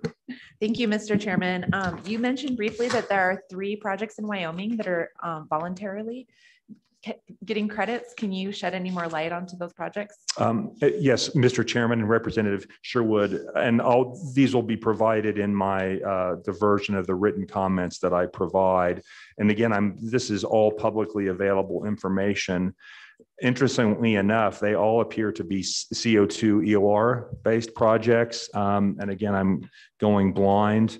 Uh, one is by Merit Energy. Uh, one looks to be at the Monell field and one is at Salt Creek. And actually, now that I read it, all three of them are completed. Um, and I believe all of them were CO2 EOR based projects. And quite frankly, I think using the methodology I helped to write. So, um, but that'll be in the written comments. All right, thank you. Sarah, take it away. All right, thank you, Mr. Chairman. So um, uh, just to, to um, kind of give you a little bit more background about why the Business Council is looking at this, you know, this um, uh, this came across our desk um, because we were seeing an increasing number of companies um, in Wyoming uh, who are, you know, developing technologies to capture CO2, um, create products from using CO2 and things like that. Um, and so that's really how we got into this um, and started looking at these markets and looking and understanding how, how we can help these companies be most successful. Um, and, and that really led us down the path toward voluntary markets. Um, a little bit about voluntary markets and why those are something interesting at this moment in time. Um, the, those markets are driven by two related but um, separate things. The first is environment, social, and governance investment, and that's what's called ESG investing um, that Kip, Kip uh, uh, mentioned in his testimony. Um, and this, and you've probably heard of that. Um, but wanted to touch on that a little bit because um, of the market opportunity that we see there. Uh, analysts predict that to be um, a, growing market. It's predicted to be about 53, tr- worth about 53 trillion dollars by the end of this year, um, and so growing really quickly. And that's really what's driving the um, uh, the the demand for CO2 credits um, from corporations who are setting corporate sustainability goals. That's the second but related thing. Corporations are, are setting corporate sustainability goals to take advantage of that uptick in ESG investment and that interest from Wall Street. So this is really being market driven. Nobody's telling these companies, you know, you have to go buy these credits or um, you you need to reduce your your carbon footprint or anything like that. This is being driven by the market, um, and we see that there is a, a potential market opportunity for uh, companies in Wyoming to take advantage of that market opportunity.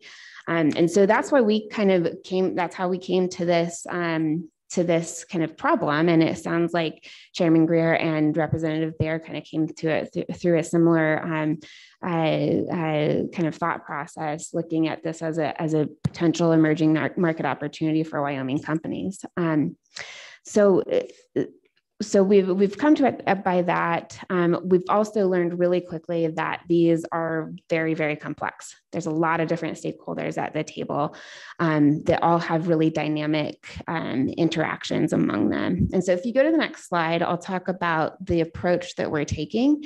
Um, because this is so complex, because there are so many people um, that you know all the way from agriculture to energy to technology to banks um, that these markets bring together, we're taking this really iterative and exploratory approach. So um, we're, we're starting by really understanding each one of those perspectives really deeply. So far, we've talked to about 40 individuals and groups, um, and I'll talk a little bit more about what we've learned so far in a second. Um, but in all of those conversations, we're really asking two questions. One, is there something that the state of Wyoming either capital S or lowercase s could do to um, to help the the players in these markets. So and b is there what is that value proposition if there is one? So we're really trying to explore you know whether there is something that we could do and then and then what that could be if so. Um, if we do find you know as we're, we're continuing these conversations and as we do if we do find that there is a, a value proposition that we can offer um, what we plan to do is to continue to involve stakeholders in in developing potential policy or programmatic solutions, um, and then test and refine those to whatever extent possible um, to make sure that we're avoiding any um, unintended consequences since these are so complex and have so many players involved in them. Um, this was our plan even before uh, we realized it was going to be an interim topic um, uh, for this committee. And so we'd be happy to work with the committee in, in whatever way um, makes sense with, with our um, collaboratively. So, Mr. Chairman. Yes. So with this being an interim topic, that means uh, we're going to work it hard for the next six months. Yep. And, and come to a solution. Are you guys ready for that? Mr. Chairman, I, I would say yes, we are. would you agree, Mr. Coddington? Representative Bear has a question. Thank you, Mr. Chairman.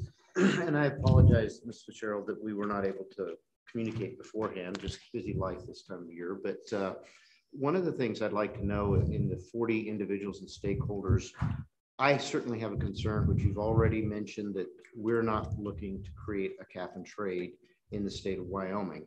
Um, and I want to support our coal industry and our coal fired power plants. And so I want to ensure that we're including them as stakeholders as well. If there's an opportunity for them to stave off some sort of requirement in the future or, uh, or to benefit from this research and potential legislation, I, I would certainly want them to be involved with what we're doing as we go forward. Has that been something of your effort so far? Mr. Chairman, Representative Bear, we haven't talked to that specific stakeholder group yet, but I agree with you that needs to be something that we include in, in our, our efforts going forward. And I will say that we have talked to oil and gas companies who are who are interested. Good. All right, if we go on to the next slide, I can talk a, little bit about what we have learned um, so far. And I won't read this. This is very small. It's in your materials. You can take a look at it there. Um, but the main takeaway that we've gathered from these stakeholders is that yes, there is an opportunity in voluntary CO2 markets, um, but there are some challenges and uh, in terms of accessing those markets as efficiently as as they might be able to um, and those really stem from kind of the consistency and efficiency um, uh, that that these voluntary markets um, kind of lack. Um, and and Kip did a great job of, of explaining kind of how voluntary markets work. Um, and that that consistency, you know, goes back to, to Kip's um, explanation of how these work. And right now, they're working exactly as they were designed to. Um, there are many different exchanges. If you want to sell a CO2 credit or buy a CO2 credit, you can go to one of those exchanges. Um, as Kip said, you know, do that currently if you've if you're using one of their approved methodologies, or you can endeavor to create your own methodology, or you could try to create your own exchange. Um, I, um, but what we've we've observed from a business standpoint, at least, and and as we've been talking to several stakeholders so far, is that um, that it, uh, it, each one of these each one of these exchanges defines CO2 differently, um, a CO2 credit differently rather. Um, and so what that means is that if you're a buyer or a seller of a CO2 credit, it, it creates some challenges. That means that these, these uh, credits aren't traded across different exchanges. They're only sold as kind of boutique packaged products rather than more like a commodity, as you might kind of think of a material like CO2. Um, and what that means is that um, if you're trying to sell a CO2 credit, like Kip said, it can be kind of time consuming, it can be a long process, it can be really hard. There's just a lot of barriers to selling a CO2 credit. And if you're a buyer of a C of CO2 credits, um, it can be hard to tell if you're getting a fair price for those. And that's that, that price transparency that Kip talked about. What we've also learned um, from stakeholders so far is that there's there's a lot to consider when you think about um, creating any sort of solution to that consistency problem. Um, the, the way that you measure these, um, uh, measure CO2 reductions is really complex and always changing. Um, and that's because there's a lot of science involved. There's a lot of science that hasn't been done yet um, that, that is involved as well. And new technologies are being developed all the time. And so that that kind of you know definition or or methodology uh, those need to be updated constantly um, another complexity which we've kind of hit on is the the um, uh, the policy landscape is changing quickly. We've got kind of bills waiting in the wings at the federal level. Um, different states are looking at different bills too, and so that creates some more complexity. Um, but I think the biggest um, uh, you know, the challenge that we're going to have to overcome if we want to address this is just the fact that there are so many um, players in this market, um, and we need to make sure that um, that that the market works for all of them and not just a subset of them. If we if we do create something that works for one particular industry or one particular technology, we run the risk of actually exacerbating that consistency problem rather than solving it. And so um, that's a big one. And then last but not least is um, I talked about the kind of public sector landscape changing quickly, um, but uh, entities like banks um, and their private sector task forces, the private sector is also looking at solving this consistency problem. Um, and so um, making sure that, that we're working with the private sector and, and complementary to whatever efforts um, they're doing is really, really important piece too.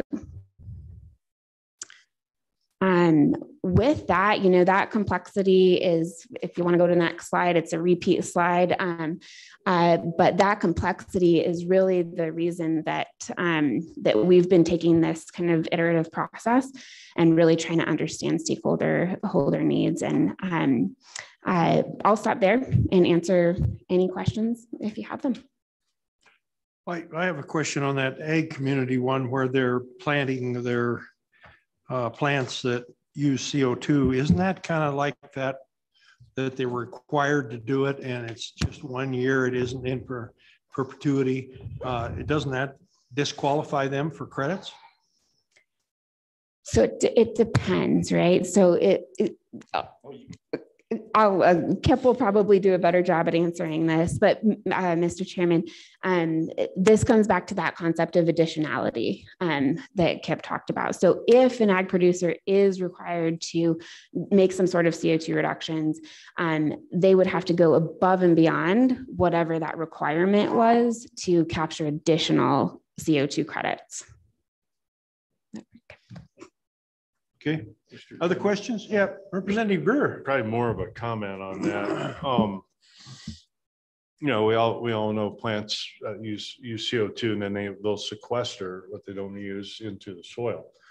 And so when the soil is disturbed, that CO2 is released. But if you have different farming practices, such as no-till, where you go back in on your stubble, um, then that, that CO2 stays sequestered. And I've seen modeling examples, um, you know, through the ice states you look at, you know, down the Red River Valley and around the bend of uh, in May, CO2 levels increasing, and that's because of the tilling practices and some of that being released. So that's some of that focus is a change in practice. Also, that practice reduces the number of trips over the field, so you're burning less diesel uh, to to raise a crop. So there are factors in that. But um, my opinion, uh, no-till cannot uh, also leads to other issues. And so it, you're, you're correct. At some point in time, you will have to come in and clean up your fields and then go back to the practice. So, yeah. Wouldn't you agree? Sorry. I, no worries. Senator, Senator Cooper, go ahead. Thank you, Mr. Chairman. Um, as a producer, a uh, ag producer or oil and gas producer or whatever it may be, reduces their CO2 uh, emissions and, and creates hopefully some credits.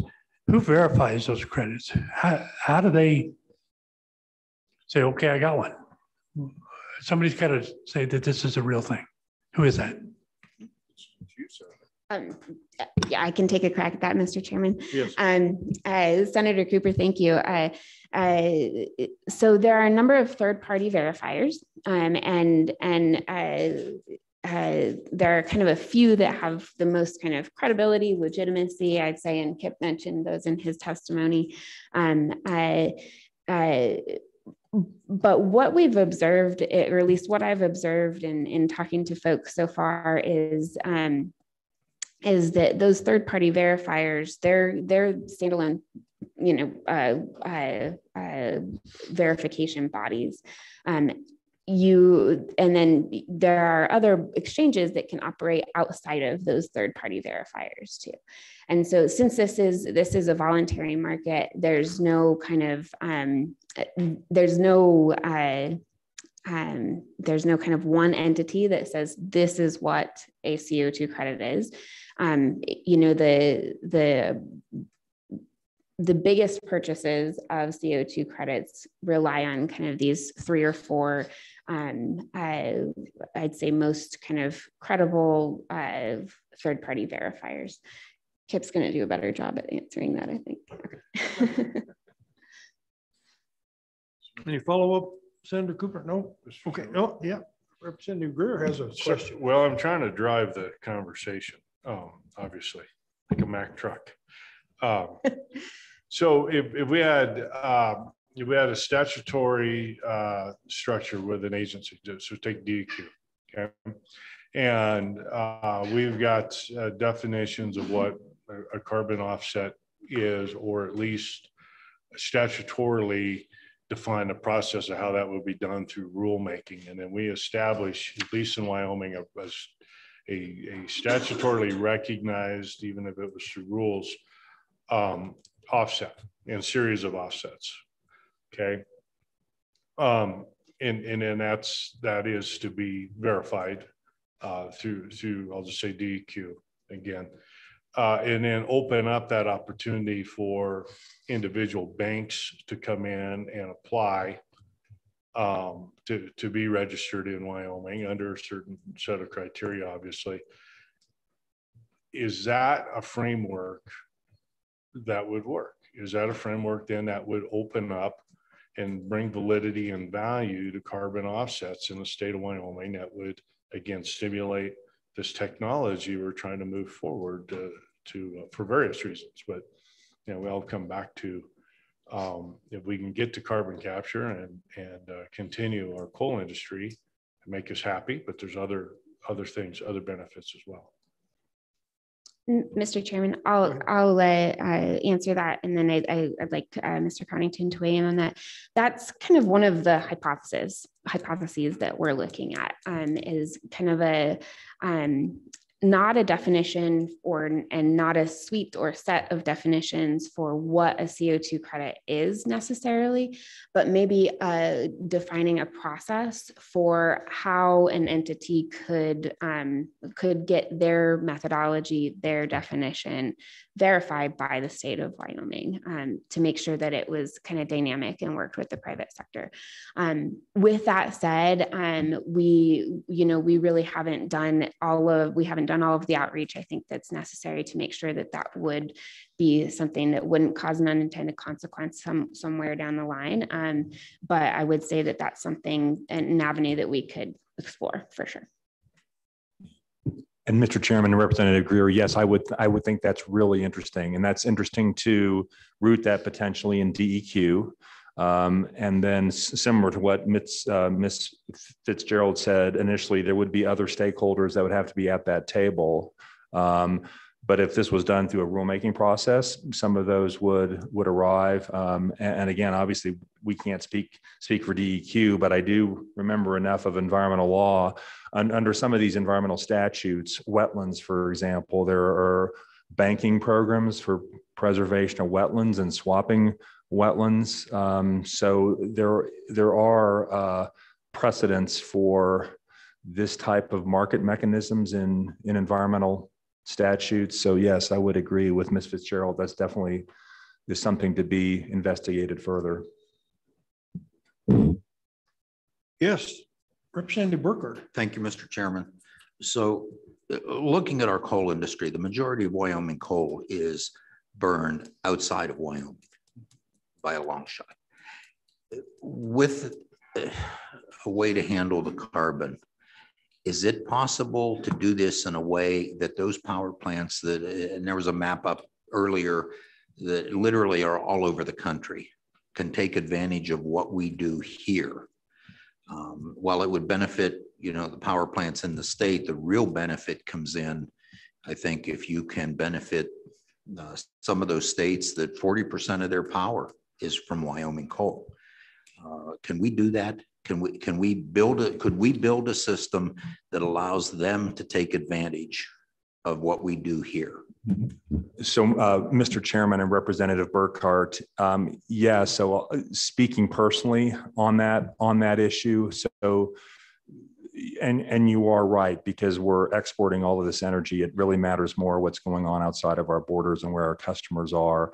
So I have two thoughts on that. It would first depend upon that would most likely be most efficiently implemented through a federal program, which might be complicated. I, I, I will note, and this uh, this is interesting. So under the so the, there were different sets of rules that would regulate greenhouse gas emissions from the existing coal fleet. The first was the Clean Power Plan, then that was replaced by the Affordable Clean Energy Rule, and now both of those are stalled. What was interesting about the Clean Power Plan is the Clean Power Plan allowed outside the fence controls. So arguably the, the Clean Power Plan would have allowed a power plant to go out and, and purchase um, by compliance, if you will, as opposed to bringing all that compliance down on its own stack.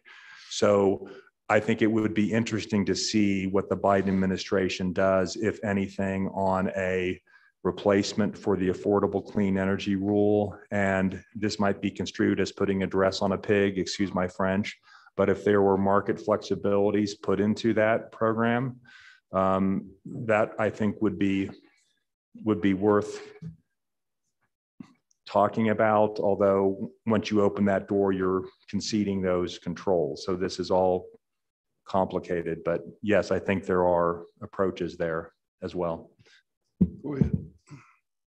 You done? You're done? Wow. Other questions for Mr. Coddington or Ms. Fitzgerald? Oh, oh yeah, yeah. Thank you, Mr. Chairman. So where do we go from here? What's our next step? What do we need to be doing? Mr. Chairman, thanks Representative Burkhart. Um, I would say that we we would like to continue doing that outreach to different stakeholders. Um, we we know we have more to talk to, um, and then start to design whatever that kind of framework looks like together with those those stakeholders. Follow up, Mr. Chairman. Yes. So do we, that design and all of that, do we have the ability to do that? Call it in-house in the state, or should we be looking at contracting some of this out? It sounds like a very complex process, and I think this is one we need to get it right uh, as early on as we can. Yeah, Mr. Chairman, or Representative Burkhart, um, I, I, I don't think it would hurt to add some kind of consultative power to the team um, for sure. Um, and in addition to that, you know, something else that could catalyze and accelerate this process is um, trying to team up with other task forces that are looking at this. There's um, something called the Task Force for Scaling Voluntary Carbon Markets that is um, uh, at the national level. It's being driven by the private sector, and um, I'm I, i am just exchanging emails with somebody from from that group uh, currently, and uh, they're looking at exactly the same problem, um, but that again, it's private sector led, um, and so we we might be able to benefit from you know all of the outreach and all of the work and all of the research that they've already done um, to inform what solutions we may be able to bring to the table in Wyoming. Representative Greear. Let me ask one more pointed question. How far along can we be on August 11th when we convene in Laramie?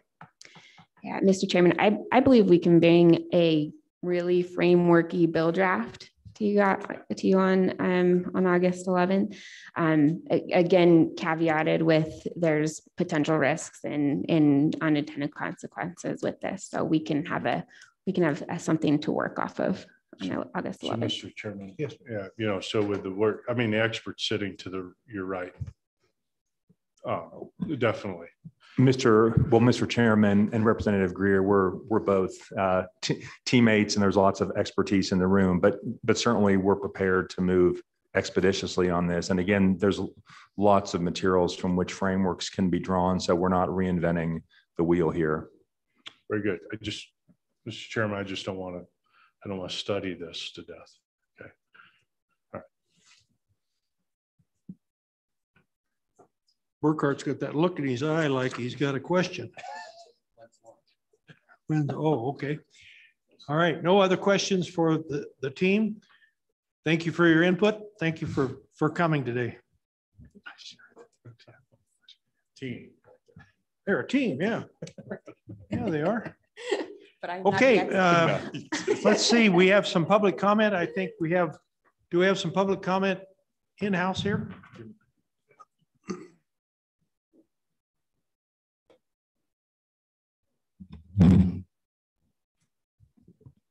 Mr. Chairman, uh, John Robitaille, I am the CEO of Encore Green Environmental, also the director of the Carbon Asset Network. Uh, today, I'm, I'm going to put on the Carbon Asset Network hat and discuss with you uh, what a Wyoming company is already doing. Uh, we are a, a Wyoming agriculture company, and we are in the voluntary carbon capture market. What we do is, is we take soil samples uh, in agricultural operations and we take a baseline of that soil sample. Then we improve the soil in some way. What that may be may be uh, additional fertilizer. Uh, it may be uh, a no-till drill, as Mr. Chairman spoke of. Uh, it may be implementing mob grazing. Whatever it may be, it improves that soil so that the plant population comes in and increases such that the carbon capture in the soil is increased. We come back to that same spot we took that soil sample from before and take it again a year later. Then we measure the soil organic carbon. I can tell you precisely how much soil, how much carbon is captured in that soil. When we, when we talk about exchanges, uh, I want to caution you uh, a friend of mine and a friend of all of yours who uh, ranches in Buffalo, had to move to Cheyenne because of a job.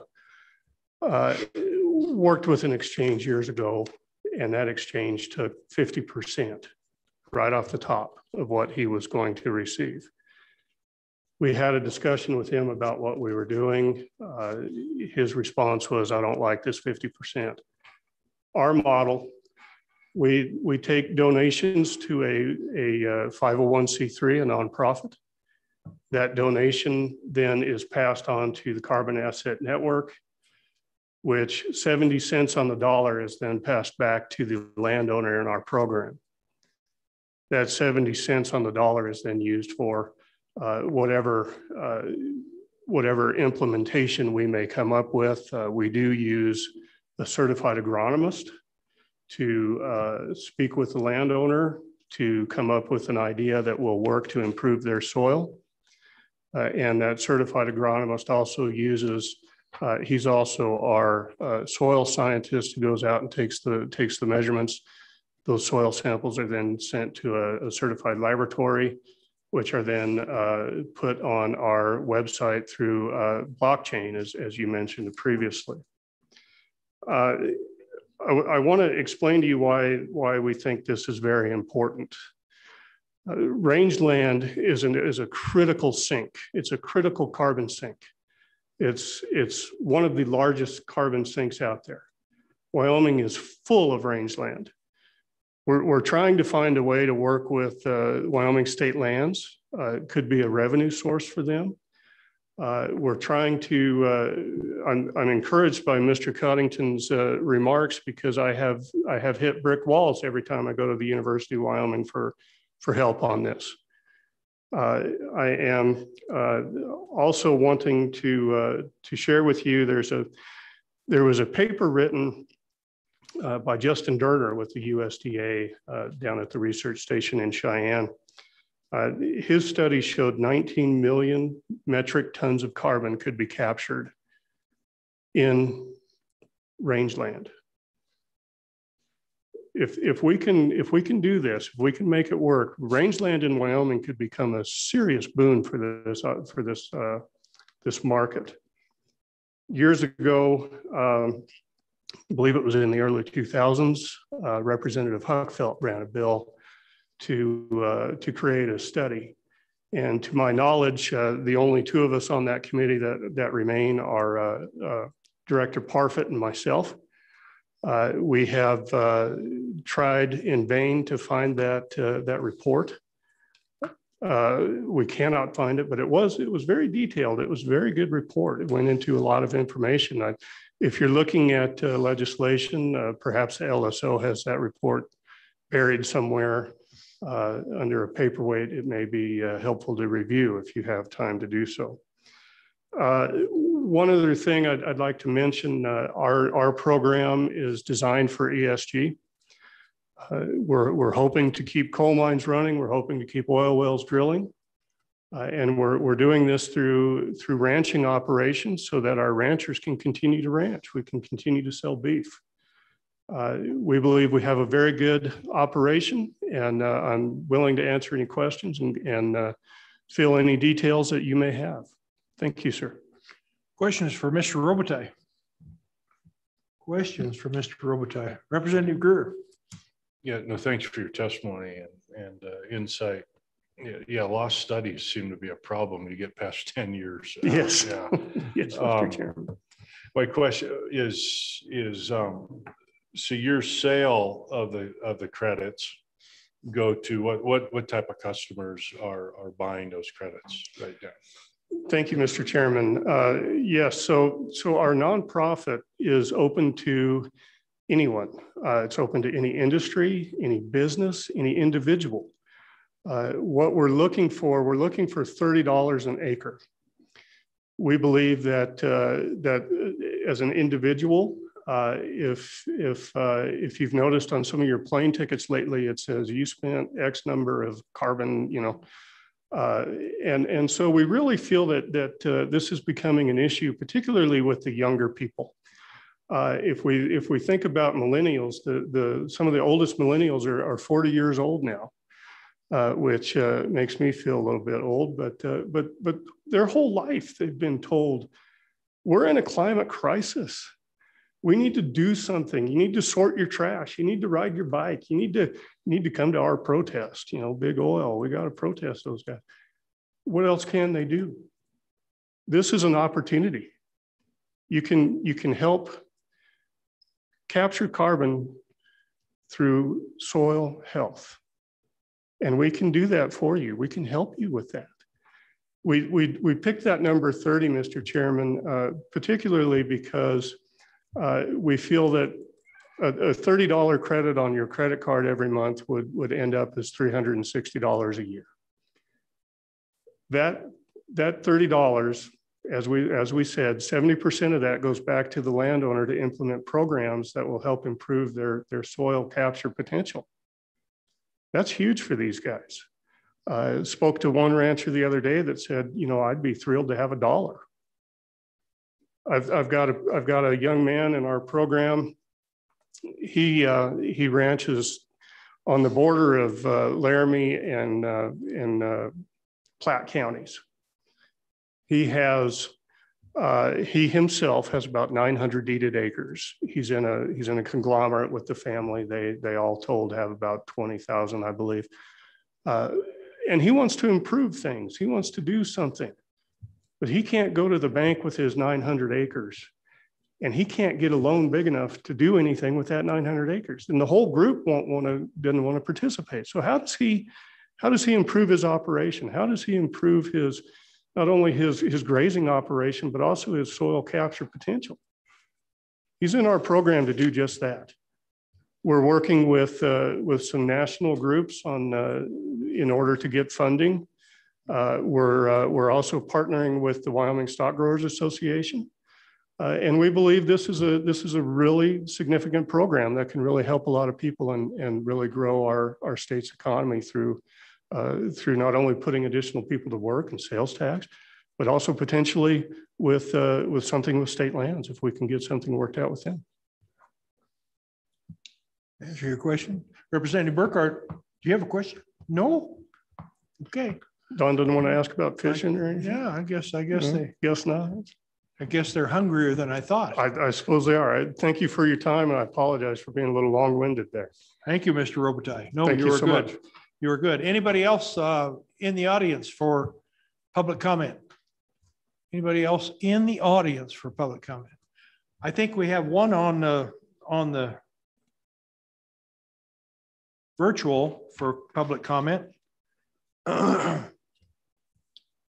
Can you bring him up?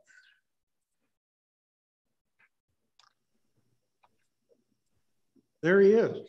So Jim couldn't drive up here to join He doesn't want to waste fuel. Mr. Magagna, are you, are you, you ready to comment on the carbon credits? I am, Mr. Chairman, and appreciate the opportunity. Jim Magagna with the Wyoming Stock Growers Association. I appreciate the opportunity to follow Mr. Robitaille. Uh, we, as, a, as an organization representing the ranch community in Wyoming, have partnered with Mr. Robitaille and the Carbon Asset Network from the beginning uh, for a couple of reasons, frankly. Uh, one is that obviously uh, we see this as the potential to become a significant revenue source for those of our members who implement good practices. And I, uh, Mr. Chairman, I know your co-chairman spoke about croplands, but I appreciate Mr. Robitaille also brought up the tremendous potential in rangelands in Wyoming, grazing lands, and that's uh, a significant, the major part of our focus certainly is, is in that area. So we see the potential there that this is a revenue source that can help maintain the viability economically of our uh, family farms and ranches in the state. At the same time, it's very helpful in portraying these ranches as people who care about the environment, who care about uh, the impacts that carbon may be having uh, on our environment, on our climate, and are willing to be uh, responsive to that. And as, as many of you, I'm sure, are aware, uh, not unlike the coal industry, we receive a lot of attacks on our industry uh, particularly the, the methane that is supposedly emitted by our cows, et cetera, and, and those who would get rid of cows off of the rangelands. Uh, we see this as an opportunity to be able to demonstrate that we can actually have a positive impact. And uh, when carbon is stored, uh, carbon has a long life when it's in the atmosphere. Methane, while there may be some emissions from cattle, although we think current practices in the US minimize that, uh, methane has a much shorter uh, scientific life, so to speak. So therefore, uh, it can be justified more easily if we're in fact contributing to carbon sequestration. Uh, other thing I would mention is, you know, had this been 20 years ago, uh, we probably wouldn't be sitting at the table with this, but the, the technology on soil health and management of soils has advanced so significantly in the last two decades that uh, we don't just turn animals out and graze the land today, that many of our people are heavily involved in applying the science of soil technology and plant health to their grazing operations. And this sequestration of, of carbon uh, ties right in there. Um, Mr. Chairman, I know that the legislation that passed the Senate, Senator Stabenow's legislation has been mentioned. Just a brief comment on that. Uh, we have not opposed that, but we're not uh, excited to embrace it. It's kind of a middle ground. Uh, it actually directs the U U.S. Department of Agriculture to become involved in establishing some criteria for measurement of carbon credits and, and carbon sequestration. Uh, but it then goes on to put some parameters on that, that it has to be done in consultation with the ag industry, et cetera, et cetera. Um, if there are going to be some, some parameters put in place, we are much more inclined to support the state of Wyoming doing that through any work that your committee might undertake than we are in having it done at the federal level. So uh, we're, we're not particularly anxious to see that move forward at this point in time and do believe that there is an opportunity for the state to step forward and assume a leadership uh, role in this. Um, I think not unlike what we did with sage grouse and maybe more recently with the governor's executive order on migration corridors, that there's a way for the for state, the state of Wyoming to play a, an important role, but a limited role, and not uh, assume a role that interferes with the creativity and the flexibility that exists in the private sector for this, whether it's for agriculture or any other purposes. Uh, so with that, Mr. Chairman, in the interest of time and your lunch hour, I would just say that uh, if the committee decides to move forward with uh, drafting a bill or that, we would welcome the opportunity to be engaged with you and, and work on something that uh, can complement existing programs such as the Carbon Asset Network and put Wyoming in a leadership position on this issue. With that, I'd be happy to take any questions. Any questions? Any questions? Representative Burkhart? Oh, no, no. Okay. He's not here. Senator Cooper. Thank you, Mr. Chairman. Mr. Magagna. Um, you're, you're asking, would we be interested in, in uh, drafting a bill? A bill to do what? What, what would it actually do? And, and, you know, what kind of direction do we need to go on that? Mr. Chairman, Senator Cooper, uh, I'm not prepared today to offer any specifics, but I think my, my vision of if there were to be a bill would be that it would it would be crafted in such a way that it provides maybe I would say a blessing for the private sector initiatives and put some parameters out there to assure that those initiatives fall within a wide array, perhaps, of categories, but that are credible and defensible. Uh, but but is quite open in terms of allowing the opportunity for that creativity and the fact that whether we're dealing with rangelands or coal mines or whatever other factors are out there that that there's no one size fits all approach here. Uh, I think we asked the business council to come back with a draft for carbon credits. So you can probably work with them to uh, get all your input into that too. Uh, Mr. Chairman, we'd be pleased to do that. We work closely with the Business Council in other areas involving agriculture and, and have not been engaged on this issue, but would welcome the opportunity to become engaged with them. Okay, any other questions? I just a quick. Oh, yep. yep. Yeah, so just a quick comment. And so Jim, you couldn't drive up here to join us, huh? uh, Mr. Chairman, I, I could have. I, I chose not to today because I knew your time was tight and I'm actually trying to finish some work here so I can head off to my own ranch for two or three days and do some honest work. Okay.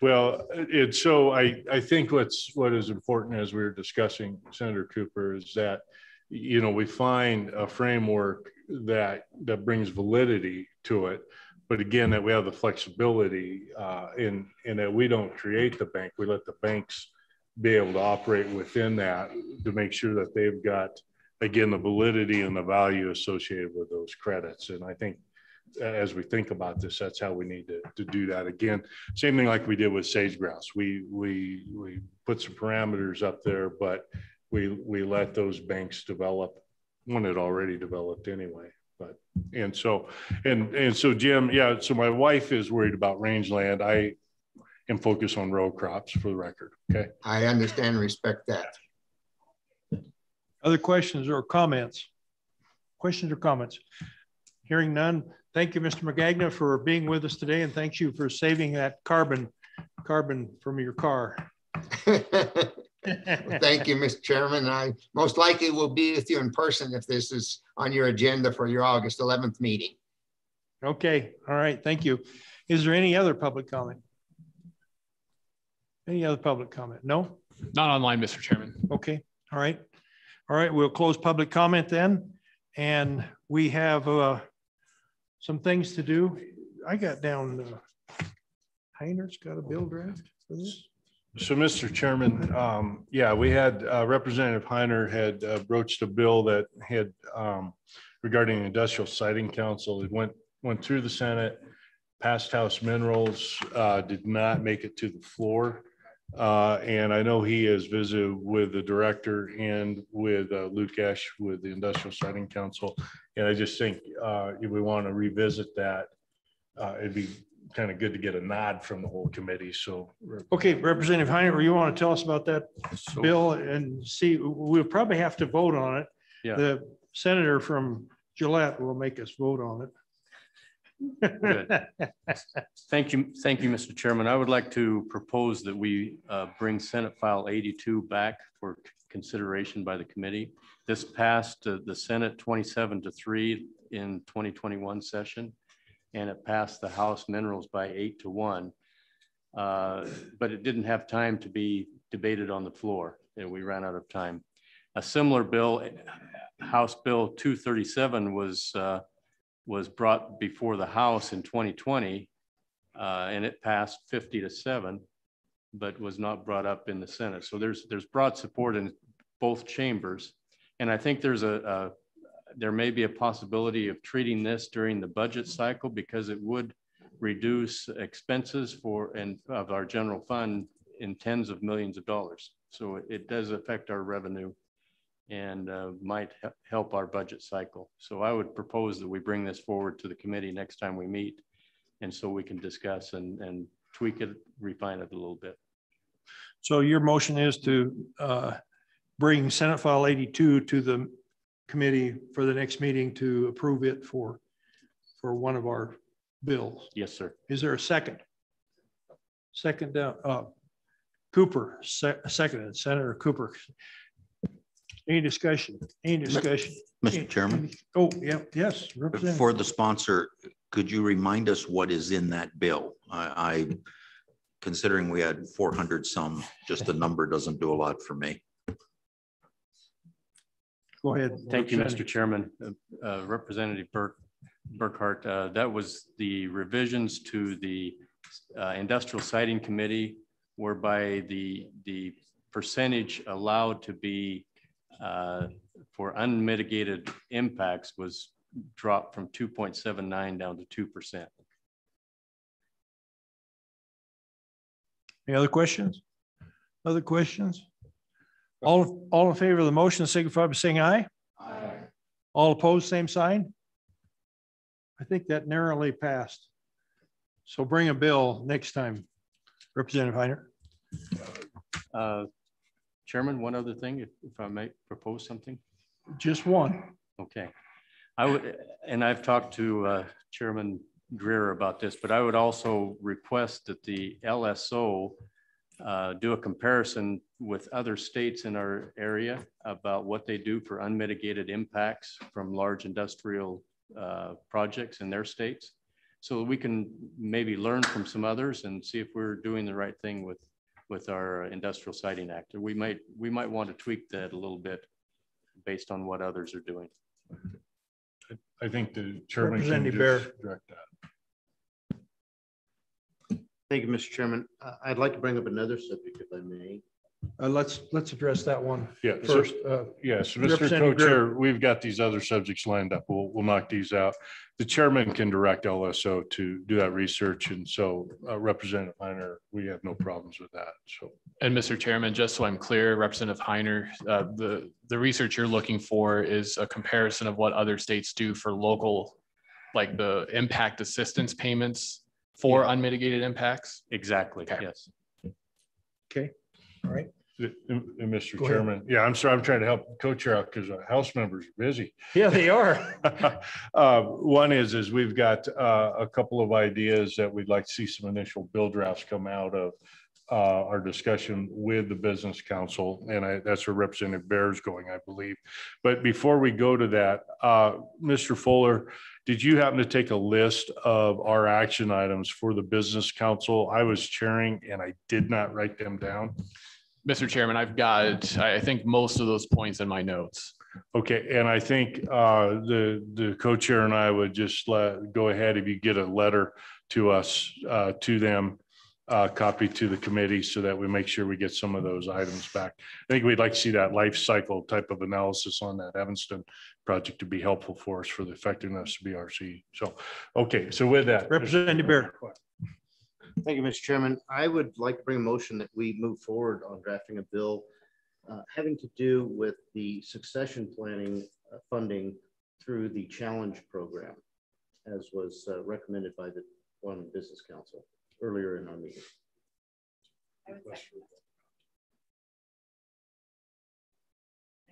Second. Okay. Draft of, and give me that again, what's your, the succession, succession planning? Or Yes, it was- There was two issues there, succession, succession planning and, and one other. Yeah, there was uh, the one having to do with uh, projects, um, contract projects. Succession loans. Yeah, succession loans, Succession is what I'm concerned with. succession planning, okay. Mr. Chairman. Yes, uh, Senator Rothfuss. Thanks, Mr. Chairman. I, I think there were four-ish issues that could probably go into that same piece of legislation if we're gonna make a request to draft for the next meeting. Uh, it might be prudent to have one draft with that series of recommendations all there so that we can see it drafted. And that's not to say that we all have to support all of the components. We can cross out, we can make the decision, but just from an LSO workload standpoint, uh, if we're going to get one drafted for next time, I, I think we should just get all four of those recommendations drafted, assuming that, and- again, it's, it's succession planning. There was an 80 20 shift. Um, on, on the bridge loan, yeah, th- there was the contract, uh, loan language, and I, I feel like there was one more. What was the one more? That was the 80 20. Oh, oh, Bridge loan, challenge loan program was 80, 20. Bridge loan. I'll just, how, how about this? And if, if it's, it's Representative Bear's uh, motion, but Representative, would you be comfortable just having the, the co-chairs work with staff on making sure that we end up with a draft that, that recognizes all of those components of the recommendations, brings that back next time, and it would include that motion so that it's, it's just a little cleaner for staff. If, if you're comfortable with that, um, I think that would be handy. But again, uh, Representative, it's, it's your motion. So be my suggestion to just provide that flexibility for the co-chairs to work with, with staff on capturing all of that. Mr. Chairman, I would be uh, amenable to that. Also, uh, I would recommend that we add the recapture uh, wording that we were lock, uh, discussing in the past as well. So maybe that would be that fourth item is the recapture. Uh, we, we had discussed uh, going back to some previous bills that uh, had covered that issue. Yep, and we can do that. That was a standalone bill, but yeah, that, that would be, uh, We voted on that. We, we voted on that separately, didn't we? So, yeah, that one's standalone. Yep, so it would be the others. Thank you, Mr. Chairman. Okay, With that, so I'd support we've it. modified that motion a little bit. Does everybody understand the motion? Everybody understands the motion? Uh, any more discussion? Any more? Oh, Mr. Chairman, does Yes. this motion include looking at changing the natural gas fueling infrastructure loan program to either make it broader to include charging stations in general or to identify electric and hydrogen charging stations? no, no, Okay, it doesn't. So this would be, That would need to be a separate. all right, I'll- Separate. I'm on standby. Thank you. Okay, all right, all right. Any other discussion? Any other discussion? Question. Question has been called. All in favor of Representative Bear's motion, signify by saying aye. Aye. All opposed, same sign. Motion carries. Did you want to make another motion on that? uh, Yes. Issue? Mr. Chairman, I would like to make a motion um, to draft a bill that would edit the natural gas fueling infrastructure loan program to do away with natural gas and instead allow for electric or hydrogen charging stations. Uh, I, I, I don't like the wording of that to do away with the natural gas. I think in addition to the national gas. Yeah, yeah. Is there a second? Second. Seconded by Rothfuss. Any discussion? Any discussion? Any discussion? Hearing none, sensing the body's ready to vote, all in favor signify by saying aye. Aye. All opposed, same sign. Motion carries. Somebody said no. Oh, one no. Okay. Any others? Uh, Yes. Thank you, Mr. Chairman. So for the second meeting, I'd, I'd really like us to look at the originating statute for Wyoming Business Council and um, to frame that, you know, I, I had had some, a bill with some amendments to their originating statute. It was HB 110, uh, which would have added to the, to their originating statute that they would be, also be promoting our low tax structure, our low taxes in the state of Wyoming. So I'd like to bring a motion to bring that back and that could be used as a framework to look at uh, their originating statute and exactly what we're directing them uh, to do. Motion is to look at their originating uh, statute. The motion is to redraft, to bring back House Bill 110 from the 2021 session. Motion is to bring back House Bill 110 from the 2010.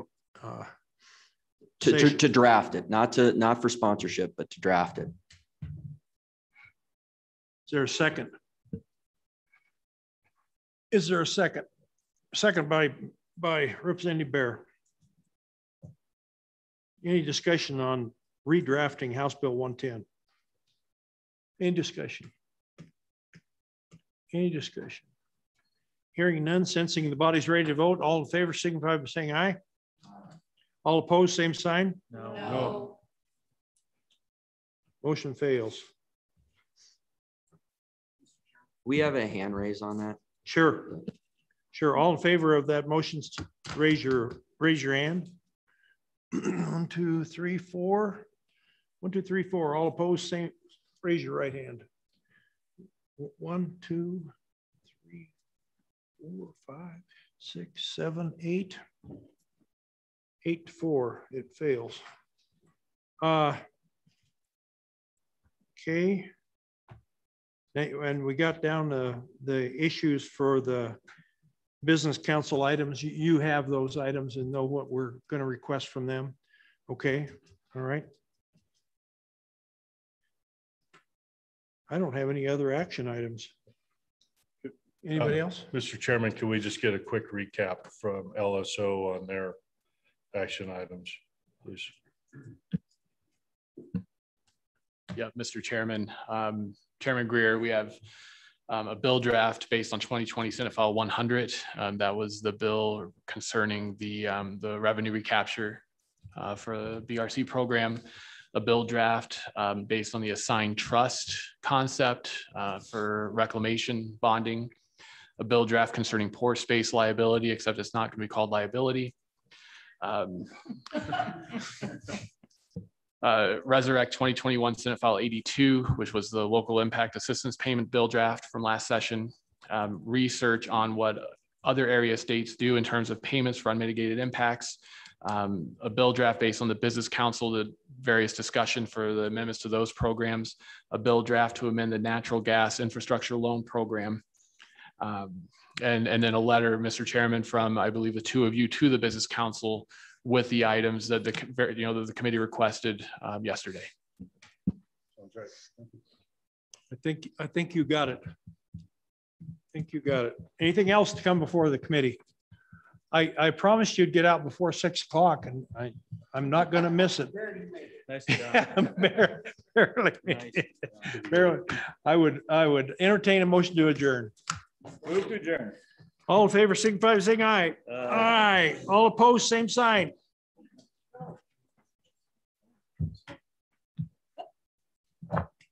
There are seven.